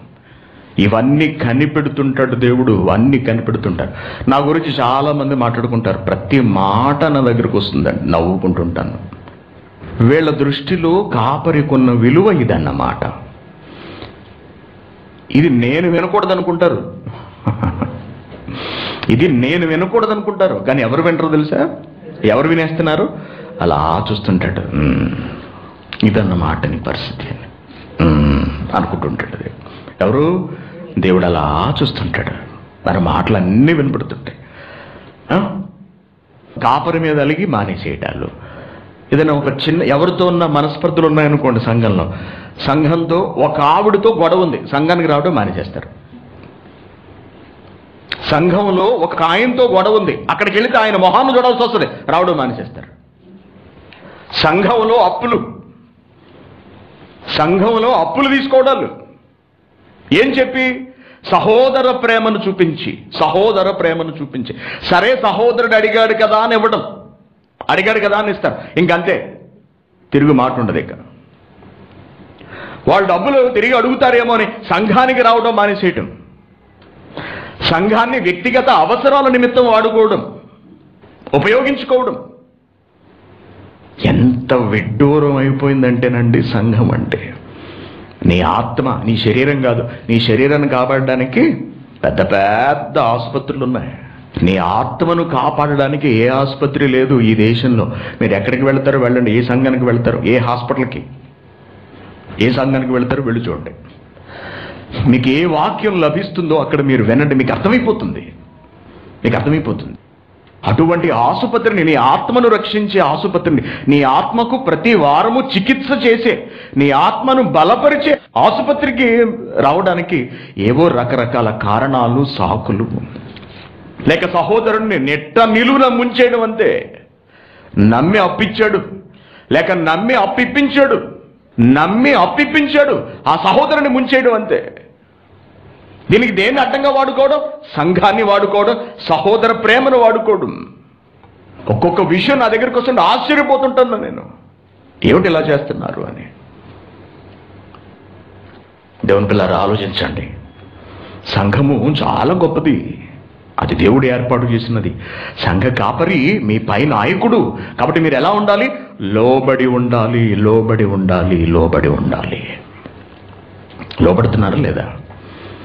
ఏమండి? మరొక విషయం ఉందండి చాలా ముఖ్యమైన విషయం ఇది. దీని గురించి అసలు మనం పట్టించుకోనే పట్టించుకోము. ఓకే? చూద్దాం అదే. ఇంతవరకు రెండు చూసాం. ఒకటి బోధకుడు ఎలా ఉండాలి? రెండు విశ్వాసి ఎలా ఉండాలి? మంద ఎలా ఉండాలి? ఇప్పుడు మందలో మళ్ళీ ఒక సబ్ హెడ్డింగ్ సెకండ్ పాయింట్ అనమాట సెకండ్ పాయింట్. ఓకే. కొరింతలకు రాసిన రెండో పత్రిక పదకొండవ అధ్యాయము ఎనిమిదో వచనం. మీకు పరిచర్య చేయుటకై నేను ఇతర సంఘముల వలన జీతము పుచ్చుకొని వారి ధనము దొంగిలిన వాడనైతిని అని చెప్తున్నాడు. ఎవరితో చెబుతున్నాడు ఈ మాట? పౌలు గారు కొరింధీలతో చెబుతున్నాడు. ఏమండి? కొరింధీలతో చెబుతున్నాడు. ఏం చెబుతున్నాడు? మళ్ళీ చదవమ్మా. మీకు పరిచర్య చేయుటకై నేను ఇతర సంఘముల వలన జీతము పుచ్చుకుని వారి ధనం విషయంలో దొంగనయ్యాను నేను. అంటే మీకు వాక్యం చెప్పడానికి నేను మరొకరి దగ్గర డబ్బు పుచ్చుకున్నాను. మీకు వాక్యం చెప్పడానికి మరొకరి దగ్గర డబ్బు పుచ్చుకున్నాను అంటున్నాడు. ఎందుకు పుచ్చుకున్నాడు? తన జీవన నిమిత్తం పుచ్చుకోవాల్సి వచ్చింది. ఏ మరి కొరింధీలు ఏం చేస్తున్నారు? కొరింధీలు ఏం చేస్తున్నారు? పట్టించుకోలేదన్నమాట. వాళ్ళ బ్రతుకు వాళ్ళు చూసుకుంటున్నారు. వాళ్ళ క్షేమం వాళ్ళు చూసుకుంటున్నారు తప్పించి మన బోధకుడి క్షేమం ఎలా ఉన్నది అని ఎవ్వరూ పట్టించుకోలేదన్నమాట. బాధ కదండి? బాధేనా కదా? దేవుడు దయదలిచి నాకు ఉద్యోగం ఇచ్చాడు. కాస్త కోస్తో జీతం వస్తుంది. దాంతో నేను బ్రతుకుతాను. నాకు ఉద్యోగం లేదనుకుందాం. నాకు ఉద్యోగం లేదనుకుందాం కాసేపు మీరు ఎలా బ్రతుకుతున్నారండి? మీరు ఎలా బ్రతుకుతున్నారు? అని అడిగేవాళ్ళు ఎవ్వరు ఉండరండి. ఈ మాట నేను ఎందుకన్నానంటే ఎంతవరకు ఎవరు నన్ను ఈ మా గురించి ప్రార్థన చేయండి. మాకు కష్టం ఉంది కొంచెం ప్రార్థన చేయండి. ఏమండి మీ పరిస్థితి ఎలా అసలు? మీ పరిస్థితి ఎలా? లాక్డౌన్లో. అన్న నీకు డ్యూటీ ఉందా? మీరు ఎలా మెయింటైన్ అవుతున్నారు? జీతం వస్తుందా? రావట్లేదా? అని అడిగిన వాళ్ళు ఎవరు లేరు. ఎవరు లేరు. నాకు ఆశ్చర్యం అనిపించింది ఇలా ఉంటుందన్నమాట అనుకున్నాను. ఇలా ఉంటారన్నమాట. ఎవరో తక్కువ మంది వేళ్ళ మీద ఒక్కళ్ళు ఇద్దరు. ఈ రోజుకి కూడా మీరు ఎలా బ్రతుకుతున్నారు? మీకు ఇన్ని ఆరోగ్య సమస్యలు ఉన్నాయి కదా? మీకు ఇన్ని ఆరోగ్య సమస్యలు ఉన్నాయి కదా? ఏ మీరు ఉద్యోగం ఎందుకు మానేయకూడదు? ప్రశాంతంగా రెస్ట్ తీసుకుంటూ మరింత బలంగా దేవుని పని ఎందుకు జరిగించకూడదు? మేమందరూ ఉన్నాం కదా వెనకాల. మేము మిమ్మల్ని చూసుకుంటాం కదా అని అడిగిన వాళ్ళు ఒక ఇద్దరు అనుకుంటే నా దగ్గరకు వచ్చారు ఒకసారి. ఇద్దరు ఇద్దరు వ్యక్తులు. ఓన్లీ టూ పర్సన్స్ మీరు ఇంట్లో కూర్చోండి అన్న బుక్స్ చేయండి మిమ్మల్ని మేము చూసుకుంటాము అన్నవాళ్ళు. ఎందుకంటే హై షుగర్లో నేను ఉదయాన్నే లేచి డ్యూటీకి వెళ్ళలేకపోయేవాడిని. కానీ వెళ్ళాలి తప్పదు. వెళ్ళాలి. ఇండియాకి వెళ్ళిపోయి అక్కడే ఉండి ఏదన్నా పని చేసుకుంటూ దేవుని పని జరిగిద్దాం అనిపించింది నాకు. కారణం ఏంటంటే నాకు అంతగా ఇష్టం అవ్వలేదండి. దానికి కారణం నేను చేయలేకపోతున్న నా ఉద్యోగం అనగా నా బ్రతుకు నేను బ్రతకడానికి పడుతున్నటువంటి ఇబ్బందులు అన్నమాట నేను పడిన వేదన కష్టం బాధ అది ఎవరికి తెలియదు నేను తిరిగి రాకపోతే రావడానికి ఇష్టపడకపోతే దానికి కారణం కూడా మీరే అవుతారు అని ఒకసారి వెళ్తూ చెప్పాను నేను. సంఘం అంతటి గురించి ప్రార్థించాలి సంఘ యోగక్షేమాలు చూడాలి అందరి గురించి దేవుడి దగ్గర పెట్టాలి. మరి నా గురించి ఎవరైనా ఆలోచించారా? ఆలోచిస్తారా? అదే పౌలు గారి విషయంలో జరిగిందన్నమాట. అతడు మరొక చోట నుంచి డబ్బు తెచ్చుకుని కొరింధీలో ఉంటూ వారికి వాక్యాన్ని బోధిస్తూ ఇతరుల మీద ఆధారపడి బ్రతకవలసి వచ్చింది. అది బాధపడుతూ చెబుతున్నటువంటి సందర్భం కదండి పౌలు గారు చెప్పింది ఇక్కడ. బాధ కదా ఆయనకి బాధ కదా బాధ కదా. ఫిలిపిల్కి రాసిన పత్రిక. పదకొండు అధ్యాయం తొమ్మిది వచ్చిన మరియు నేను మీ యొద్ద ఉన్నప్పుడు నాకు అక్కర కలిగి ఉండగా నేను ఎవరి మీద భారం మోపలేదు. మాసిధోనియా నుండి సహోదరులు వచ్చి నా అక్కర తీర్చిరి. అని ప్రతి విషయంలోనూ నేను మీకు భారముగా ఉండకుండా జాగ్రత్త పడితే అదేంటండి? ఇక్కడ మేముండగా మీరు ఎవరినో అడగటం ఏమిటి? మాసిధోనియా వాళ్ళు వచ్చి మీకు సహాయం చేయడం ఏంటి? అదేమిటి? ఏ మేములే మేము చచ్చామనుకున్నారా? అనాలి కొరుందీలు. అంతే కదా? మరి మరొకరి సహాయం తీసుకుంటున్నాడంటే దాని అర్థం ఏంటి? అక్కడ ఉన్నవాడు పట్టించుకోవట్లేదని అర్థం. అర్థమైందా అండి? అర్థమవుతుందా మీకు? ఇప్పుడు వెళదాం. ఫిలిపిల్ రాసిన పత్రిక నాలుగో అధ్యాయం పద్నాలుగు వచ్చిన నుండి. ఆయనను నా శ్రమలో మీరు పాలు పుచ్చుకొని నది మంచి పని అన్నట్టు చూసారండి వాక్యోపదేశకుని శ్రమలో విశ్వాసులు సంఘ సభ్యులు పాలు పుచ్చుకోవడం అనేది మంచిదట. ఎవరికి మంచిది? ఎవరికి మంచిది? పాలు పుచ్చుకున్న వారికి మంచిది. ఫిలిప్పీలరా సువార్తను నేను బోధింపనారంభించి మాసిదోనియా నుండి వచ్చినప్పుడు ఇచ్చు విషయంలోను పుచ్చుకొని విషయంలోను మీరు తప్ప మరి ఏ సంఘపు వారు నాతో పాలివారు కాలేదు అనే దీవెనలన్నీ ఎవరికి దక్కేసి ఉంటాయండి? ఫిలిప్పీ సంఘము. బాధ ఎవరి విషయమై పడ్డాడు? మిగిలిన అందరి విషయమై బాధపడ్డాడు. ఎవరన్నా పట్టించుకున్నారు నన్ను అని పరోక్షంగా బాధపడుతూ అడుగుతున్నాడండి పౌలు. అంటే సంఘం ఏం ఆలోచించాలి? ఎవరి గురించి ఆలోచించాలి? ఎవరి గురించి ఆలోచించాలి? కాపరి గురించి ఆలోచించాలి. నా తండ్రి గురించి నేను ఆలోచిస్తాను తెలుసా అండి? తెలుసా మీకు? నెలకు వంద దినార్లు ఇస్తాను నా తండ్రికి నా జీతం నుండి. ప్రతి నెల వంద దినార్లు. వంద. నా కష్టార్జితం నుండి నా డబ్బు నుండి. నా తండ్రి సంతోషపడాలి. నా తండ్రి నా డబ్బు తినాలి నాకు వాక్యం నేర్పించిన వాడు నా కష్టాన్ని తినాలి అది నాకు సంతోషం. కొన్ని సంవత్సరాల నుండి పంపిస్తున్నాను. అది ఆలోచించకపోవడం విశ్వాసుల విశ్వాసుల బలహీనత. ఈ మధ్య కాలంలో డాడీ గారు చెప్పడం మొదలుపెట్టిన తర్వాత కొందరు నా దగ్గరకు వచ్చి ఇది మీకు అంటారు. ఇది మీకు ముందే చెబుతున్నాం మీరు దాంట్లో కలిపడని కుదరదు ఇది మీకు అంటున్నారు ఈ మధ్య కొందరు వచ్చి ఒకరిద్దరు. ఒకరు లేక ఇద్దరు. ఇది మీకు అంటున్నారు. దాన్ని కూడా నేను దేవుని నిమిత్తమే వినియోగిస్తాను. కారణం ఏంటంటే నాకు జీతం వస్తుంది ప్రస్తుతానికి. నాకు జీతం వస్తుందా లేదా అన్నది కాదు ప్రధానమైన విషయం. మీ మనస్సు కాపరి పట్ల ఎలా ఉంది? అది ప్రధానమైన విషయం. నాకు అనిస్తున్న డబ్బులు నేనేమి తినేసాను. వాటిని కూడా దేవుని పని నిమిత్తమే వినియోగిస్తాను. మరి నేను మింగేస్తే ఇన్ని ఎక్కడి నుంచి వస్తాయి? నేను మింగేస్తాను అనుకోండి దేనికి దానికి సైడ్ వేసేస్తానని అనుకోండి. మీరు ఎత్తి మీద పెట్టేయడమే కదా? ఇది కొనాలి డబ్బులు ఇవ్వండి అది కొనాలి డబ్బులు ఇవ్వండి అద్దె కట్టాలి డబ్బులు ఇవ్వండి. బస్సు కొనాలి డబ్బులు ఇవ్వండి కార్పెట్ అంటించాలి డబ్బులు ఇవ్వండి బేస్మెంట్కి అడ్వాన్స్ కట్టాలి డబ్బులు ఇవ్వండి. ఎప్పుడైనా అడిగానండి మరి ఎందుకు జరగట్లేదు అనుకుంటున్నారు? మీ కష్టార్జితాన్ని చాలా జాగ్రత్తగా భద్రపరిచి దాన్ని ఎలా సద్వినియోగపరచాలో అలా సద్వినియోగపరచుచు ఎక్కడికక్కడ ఇబ్బంది రాకుండా అలా తీసుకెళ్తున్నాను. కానీ మీరు ఆలోచించాలి. అది చెబుతున్నాడు ఇక్కడ. మీరు ఆలోచించాలి. రేపు నేను ఉండొచ్చు పోవచ్చు చనిపోవచ్చు నా స్థానంలో మరొకరు రావచ్చు వారి తర్వాత మరొకరిని దేవుడు నియమించవచ్చు. కానీ కాపరి విషయంలో సంఘం ఆలోచించకపోతే ఆ బాధ విశ్వాసికే. ఈ బంధం ఉండాలి బోధకుని మధ్య కాపరి మధ్య విశ్వాసి మంద మధ్య. ఈ సంబంధం ఈ అనురాగం ఈ అనుబంధం ఉండాలి. నా ఇంటికి వచ్చి అందరూ భోంచేసి వెళ్ళాలి అని కోరుకుంటానండి. నా బిడ్డలైన వారు నా సంఘ సభ్యులందరూ కూడా శ్రీరాములు నేను చాలాసార్లు ఆలోచించాం.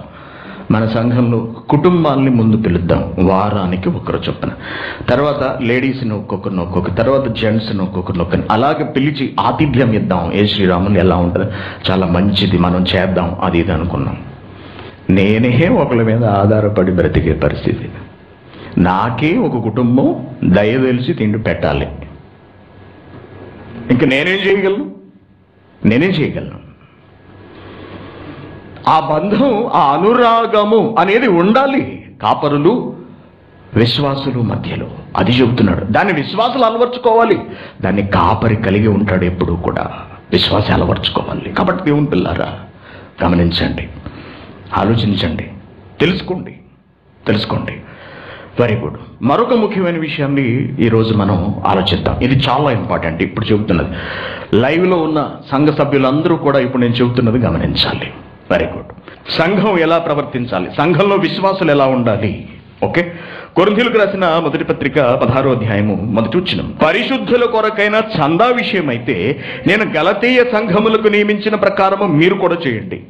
నేను వచ్చినప్పుడు చందాపోగు చేయకుండా ప్రతి ఆదివారం ముందే మీలో ప్రతివాడు తాను వర్ధిల్లిన కొలది తన యొద్ద కొంత సొమ్ము నిలువ చేయవలను. నేను వచ్చినప్పుడు మీరు ఎవరని యోగ్యులని ఎంచి పత్రికలు ఇత్తురు వారి చేత మీ ఉపకార ద్రవ్యమును ఎరుషలేమునకు పంపుతును ఉపకార ద్రవ్యము ఎరుషలేమునకు పంపించవలసి వచ్చింది. ఏ ఎందుకు ఎరుషలేమునకు పంపించవలసి వచ్చింది? అపోస్తల కార్యాలకు వెళదాం మనం. పదకొండో అధ్యాయము ఇరవై ఏడు వచ్చినాం ఆ దినముల ఎందు ప్రవక్తలు ఎరుషలేము నుండి అంతయొకయకు వచ్చిరి. వారిలో అగబు అని ఒకడు నిలువబడి భూలోకమంది అంతటా గొప్ప కరువు రాబోతున్నదని ఆత్మ ద్వారా సూచించెను. అది క్లౌదీయ చక్రవర్తి కాలమందు సంభవించెను. అప్పుడు శిష్యులలో ప్రతివాడు తన తన శక్తి కొలది యూదయలో కాపురమున్న సహోదరులకు సహాయము పంపుటకు నిశ్చయించుకొనెను. అలాగున చేసి బర్నబా సౌలు అను వారి చేత పెద్దల యొద్దకు దానిని పంపెను పెద్దల యొద్దకు దానిని పంపెను. భూలోకమంతటా కరువు రాబోతుంది.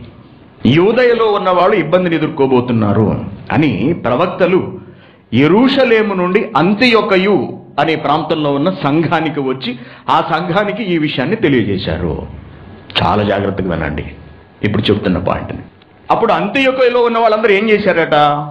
అప్పుడు శిష్యులలో ప్రతివాడు తన తన శక్తి కొలది యూదయలో కాపురమున్న సహోదరులకు సహాయం పంపుటకు నిశ్చయించుకున్నాం మనం కూడా ఏమన్నా పంపిద్దాం. అక్కడ పని జరుగుతుంది ఫర్ ఎగ్జాంపుల్. ఎరుషలేములో పని జరుగుతుంది. అంత్యోకైలో మనం ఉందాం అనుకుందాం. మనం ఉన్నాం ఫర్ ఎగ్జాంపుల్. ఇప్పుడు అక్కడ జరుగుతున్న పని నిమిత్తం లేకపోతే అక్కడ వచ్చినటువంటి సమస్య పరిష్కారం నిమిత్తము మనం డబ్బు పంపించాలి అనుకున్నాం. ఓకే. ఎలా అటది ఎలా అటది అలాగు చేసి అనగా కొంత సొమ్ము వాళ్ళు వసూలు చేసి నిల్వ చేసి బర్ణబ సౌలు అని వారి చేత పెద్దల యొద్దకు దాన్ని పంపించిరి పెద్దల యొద్దకు దాన్ని పంపించిరి. సంఘం. విశ్వాసులు ఎలా ఉండాలి? సంఘంలో విశ్వాసులు ఎలా ఉండాలి? మన సంఘంలో విశ్వాసులు ఎలా ఉన్నారంటే అండి మా ఇష్టం వచ్చినట్టు మేము చేస్తాం. మా డబ్బు మాకు నచ్చినట్టు మేము చేసుకుంటాం. ఫర్ ఎగ్జాంపుల్ విశాఖపట్నంలో పని జరుగుతుంది. దానికి డబ్బులు పంపించాలి. ఎలా పంపించాలి? ఎలా పంపించాలి? ఎప్పుడైనా బైబిల్ చదివారు ఎవరైనా? ఎలా పంపించాలి? ఎవడికి వాణ్ణి పంపించేయమని బైబిల్ గ్రంథం చెబుతుందా? వాళ్ళందరూ సంఘమై కలెక్ట్ చేసిన దాన్ని అలాగు చేసి బర్ణబా సౌలు అను వారి చేత అంత్యొక సంఘంలో పెద్దలు వెళ్ళు. ప్రధానమైన వాళ్ళు. సౌలు అంత్యొకయు సంఘం నుండి వచ్చినవాడు. ఆ సంఘంలో స్థిరపడినవాడు. బర్ణబా అక్కడివాడు. వారి చేత పంపించారట. వారి చేత పంపించారు. ఇది జరగవలసిన క్రమం. ఒక సంఘానికి సహకరించాలి అంటే ఆ సహకారం సంఘము ద్వారా వెళ్ళాలి తప్పించి ఎవరికి వారు ఇండివిజువల్గా ఇండివిజువల్గా మా డబ్బు మేము ఇష్టం వచ్చింది చేసుకుంటాం. మాకు నచ్చిన వాళ్ళకి పంపించుకుంటాం. మా డబ్బండి మేము ఎవరికన్నా ఇచ్చుకుంటాం. నువ్వు సంఘంలోకి రానంత వరకే నువ్వు నీ వ్యక్తిగతము నీ డబ్బు. జ్ఞాపకం ఉంచుకోండి ప్రతి ఒక్కళ్ళు కూడా. మీరు సంఘంలోకి రానంత వరకే నీ ఇష్టము నీ వ్యక్తిగతము నీ డబ్బు నీ డబ్బు. కానీ వన్స్ నువ్వు సంఘంలోకి వచ్చిన తర్వాత ప్రతిదీ సంఘము ద్వారా సంఘము నుండి జరగాలి. తెలుసుకోండి సంగతి.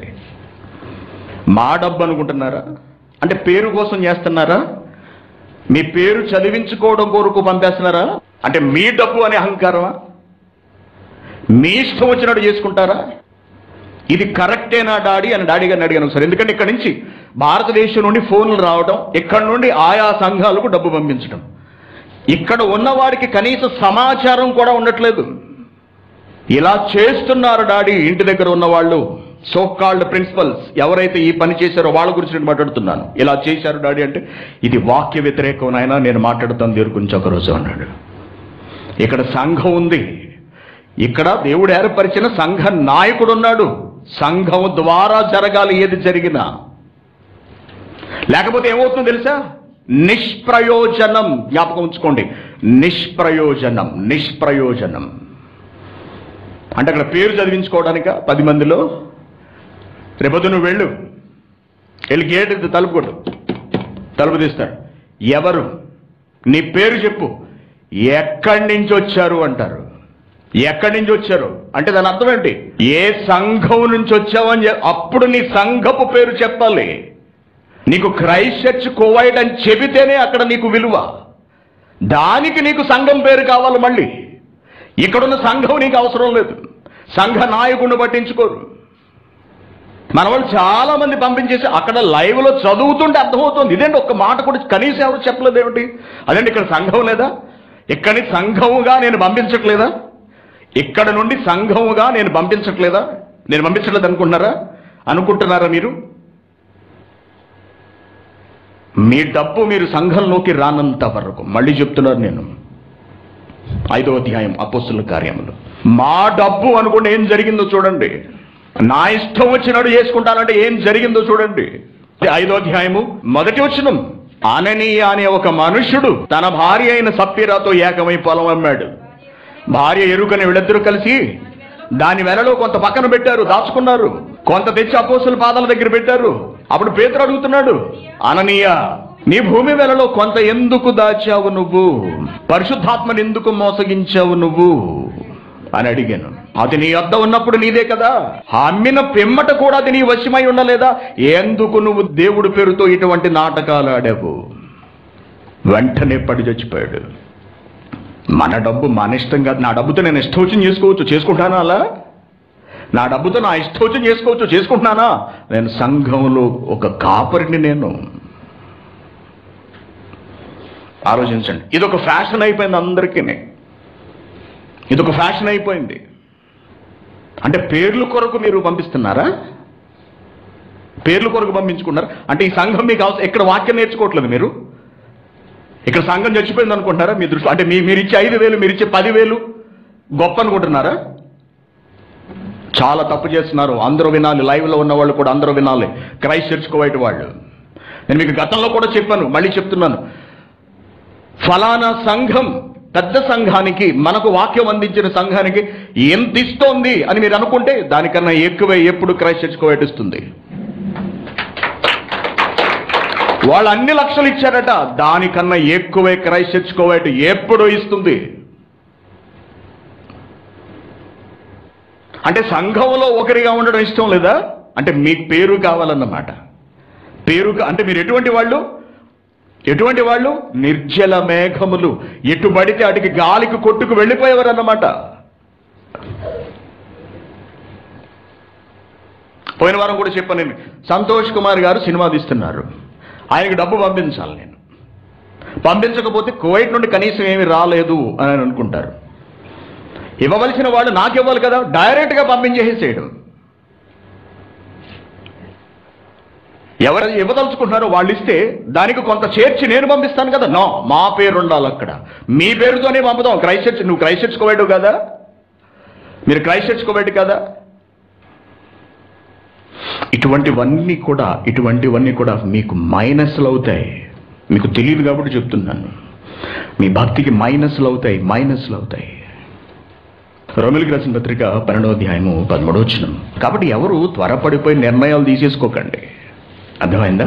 మీరు తృణీకరించేసేటంతటి చిన్నది కాదు సంఘం అంటే. మీరు పక్కన పెట్టేసేటంత చిన్నది కాదు సంఘం అంటే. అక్కడ నీ బుద్ధి బయటపడుతుంది అంతే నువ్వు చేస్తున్న పని ద్వారా నీ బుద్ధి బయటపడుతుంది అంతే పరిశుద్ధుల అవసరాలలో పాలు పొందాలి అంటున్నాడు. పరిశుద్ధుల అవసరాలలో పాలు పొందాలి అనగా సంఘంలో ఎవరైనా ఇబ్బందుల్లో ఉన్నారా? కష్టాల్లో ఉన్నారా?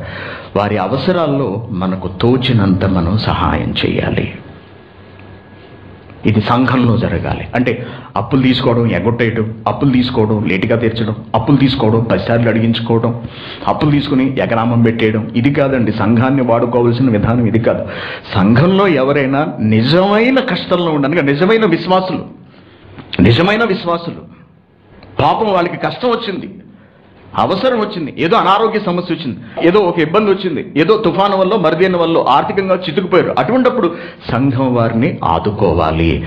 పరిశుద్ధుల అవసరాలలో అక్కరలలో పాలు పంచుకోవాలి? పాలు పంచుకోవాలి. రోమిలికి రాసిన పత్రిక పదిహేను అధ్యాయము ఇరవై ఆరు వచ్చిన ఎలయనగా ఎరుషలేములో ఉన్న పరిశుద్ధులలో బీదలైన వారి నిమిత్తము మాసిదోనియా వారు అకయా వారు కొంత సొమ్ము చందా వేయని ఇష్టపడిది నేను మీకు చెప్పాను గుర్తుందండి మన సంఘం ఎలా ఉండాలి అనుకుంటున్నానంటే నేను భవిష్యత్తులో అందరూ సమానముగా ఒకే భోజనం చేస్తూ ఒకే అవసరాలు తీర్చుకుంటూ. ఏమండి? నీకున్నది సంఘానికి ఇస్తావు నీకున్నదంతా సంఘానికి ఇస్తావు. సంఘానికి ఇవ్వడం అంటే ఎవరికి ఇచ్చినట్లు లెక్క? సంఘానికి సురేష్కి ఇచ్చినట్లు లెక్క అనుకుంటున్నారా కొంప తీసి? సురేష్కి ఇచ్చేస్తున్నాం అనుకుంటున్నారా ఇంటి కొంప తీసి సంఘానికి ఇస్తున్నట్టు ఎవరికి ఇస్తున్నట్టు తెలుసా అండి? దేవుని సమక్షంలో నువ్వు పెడుతున్నట్టు లెక్క. తెలుసుకోండి. మీరు ఇచ్చే డబ్బు నాకు ఇచ్చేసినాను కానీ అనుకుంటున్నారేమో కొంప తీసి మీరు ఇక్కడికి నాకు పట్టుకొచ్చి నాకు అందిస్తున్నటువంటి డబ్బు ఆడు బాగుపడుతున్నాడు అనుకుంటున్నారేమో? కాదండి. మీరు ఇస్తున్నది దేవునికి. కృతజ్ఞత. అంటే చూసారంటే కృతజ్ఞత. లేక మీ పరిభాషలో కానుక లేక మీ పరిభాషలో చంద. చంద. దేవుని నిమిత్తమై దేవుని పని నిమిత్తమై ఇస్తున్నప్పుడు మొదటి శతాబ్దంలో ఏం చేశారంటే దీనికి మనం ఆర్థిక సంఘం కావాలి అన్నది నాకు కలండి వారికి ఉన్నదంతా తెచ్చి సంఘం దగ్గర పెట్టారు. వారికి ఏది అవసరమో అది తీసుకున్నారు. అర్థమైందా అండి? మీకు లేదా? నీ దగ్గర కోటి రూపాయలు ఉన్నాయి. కోటి రూపాయలు పట్టుకొచ్చి నువ్వు అక్కడ పెడతావు. దేవుని నువ్వు దగ్గర పెడతావు. ఆ కోటిలోంచి నీకు ఏది అవసరం? ఎప్పుడు అవసరం? ఎంత అవసరం? కోటి రూపాయలు మనం ఒకేసారి మింగుతామండి ఒకేసారి మింగేస్తామా? లేదు. కోటి రూపాయల్లో మనకు కొంత అవసరం ఉంది. ఏముంటుంది? ఏదో వైద్య ఖర్చుల నిమిత్తం కొంత కావాలి. తర్వాత భోజనం.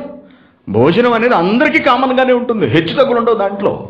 అర్థమైందా? కానీ ధనవంతుడు బెదవాడు కూడా అక్కడ సరి సమానంగా ఉంటాడు. ఇది దేవుడు ఆశించిన సంఘము. దేవుడు కోరుకున్నటువంటి సమానత్వము. అక్కడ ఏమంటున్నాడు చదవండి మళ్ళీ. ఎలయనగా ఎరుషలేములోని పరిశుద్ధులలో బీదలైన వారి నిమిత్తము మాసిదోనియా వారు అకయా వారు కొంత సొమ్ము చందవేయ ఇష్టపడుతున్నారు అంటున్నాడు. సంఘంలో ఎవరైనా కష్టస్థితిలో ఉంటే వారిని సంఘం ఆదుకునే విధంగా ఎదగాలి. ఆదుకునే విధంగా ఎదగాలి. ఎదగాలి ఎదగాలి ఎదగాలి. ఇది నూతన నిబంధన క్రైస్తవ్యం. ఇలా ఉండాలి. సంఘం ఇలా మారాలి. ఇలా అభివృద్ధి చెందాలి. ఇటువంటి ఫలాలు రావాలి. కాబట్టి ఇవేమి పిల్లారా ఇవన్నీ మీకు తెలియదు. పాఠం ద్వారా తెలుసుకోండి.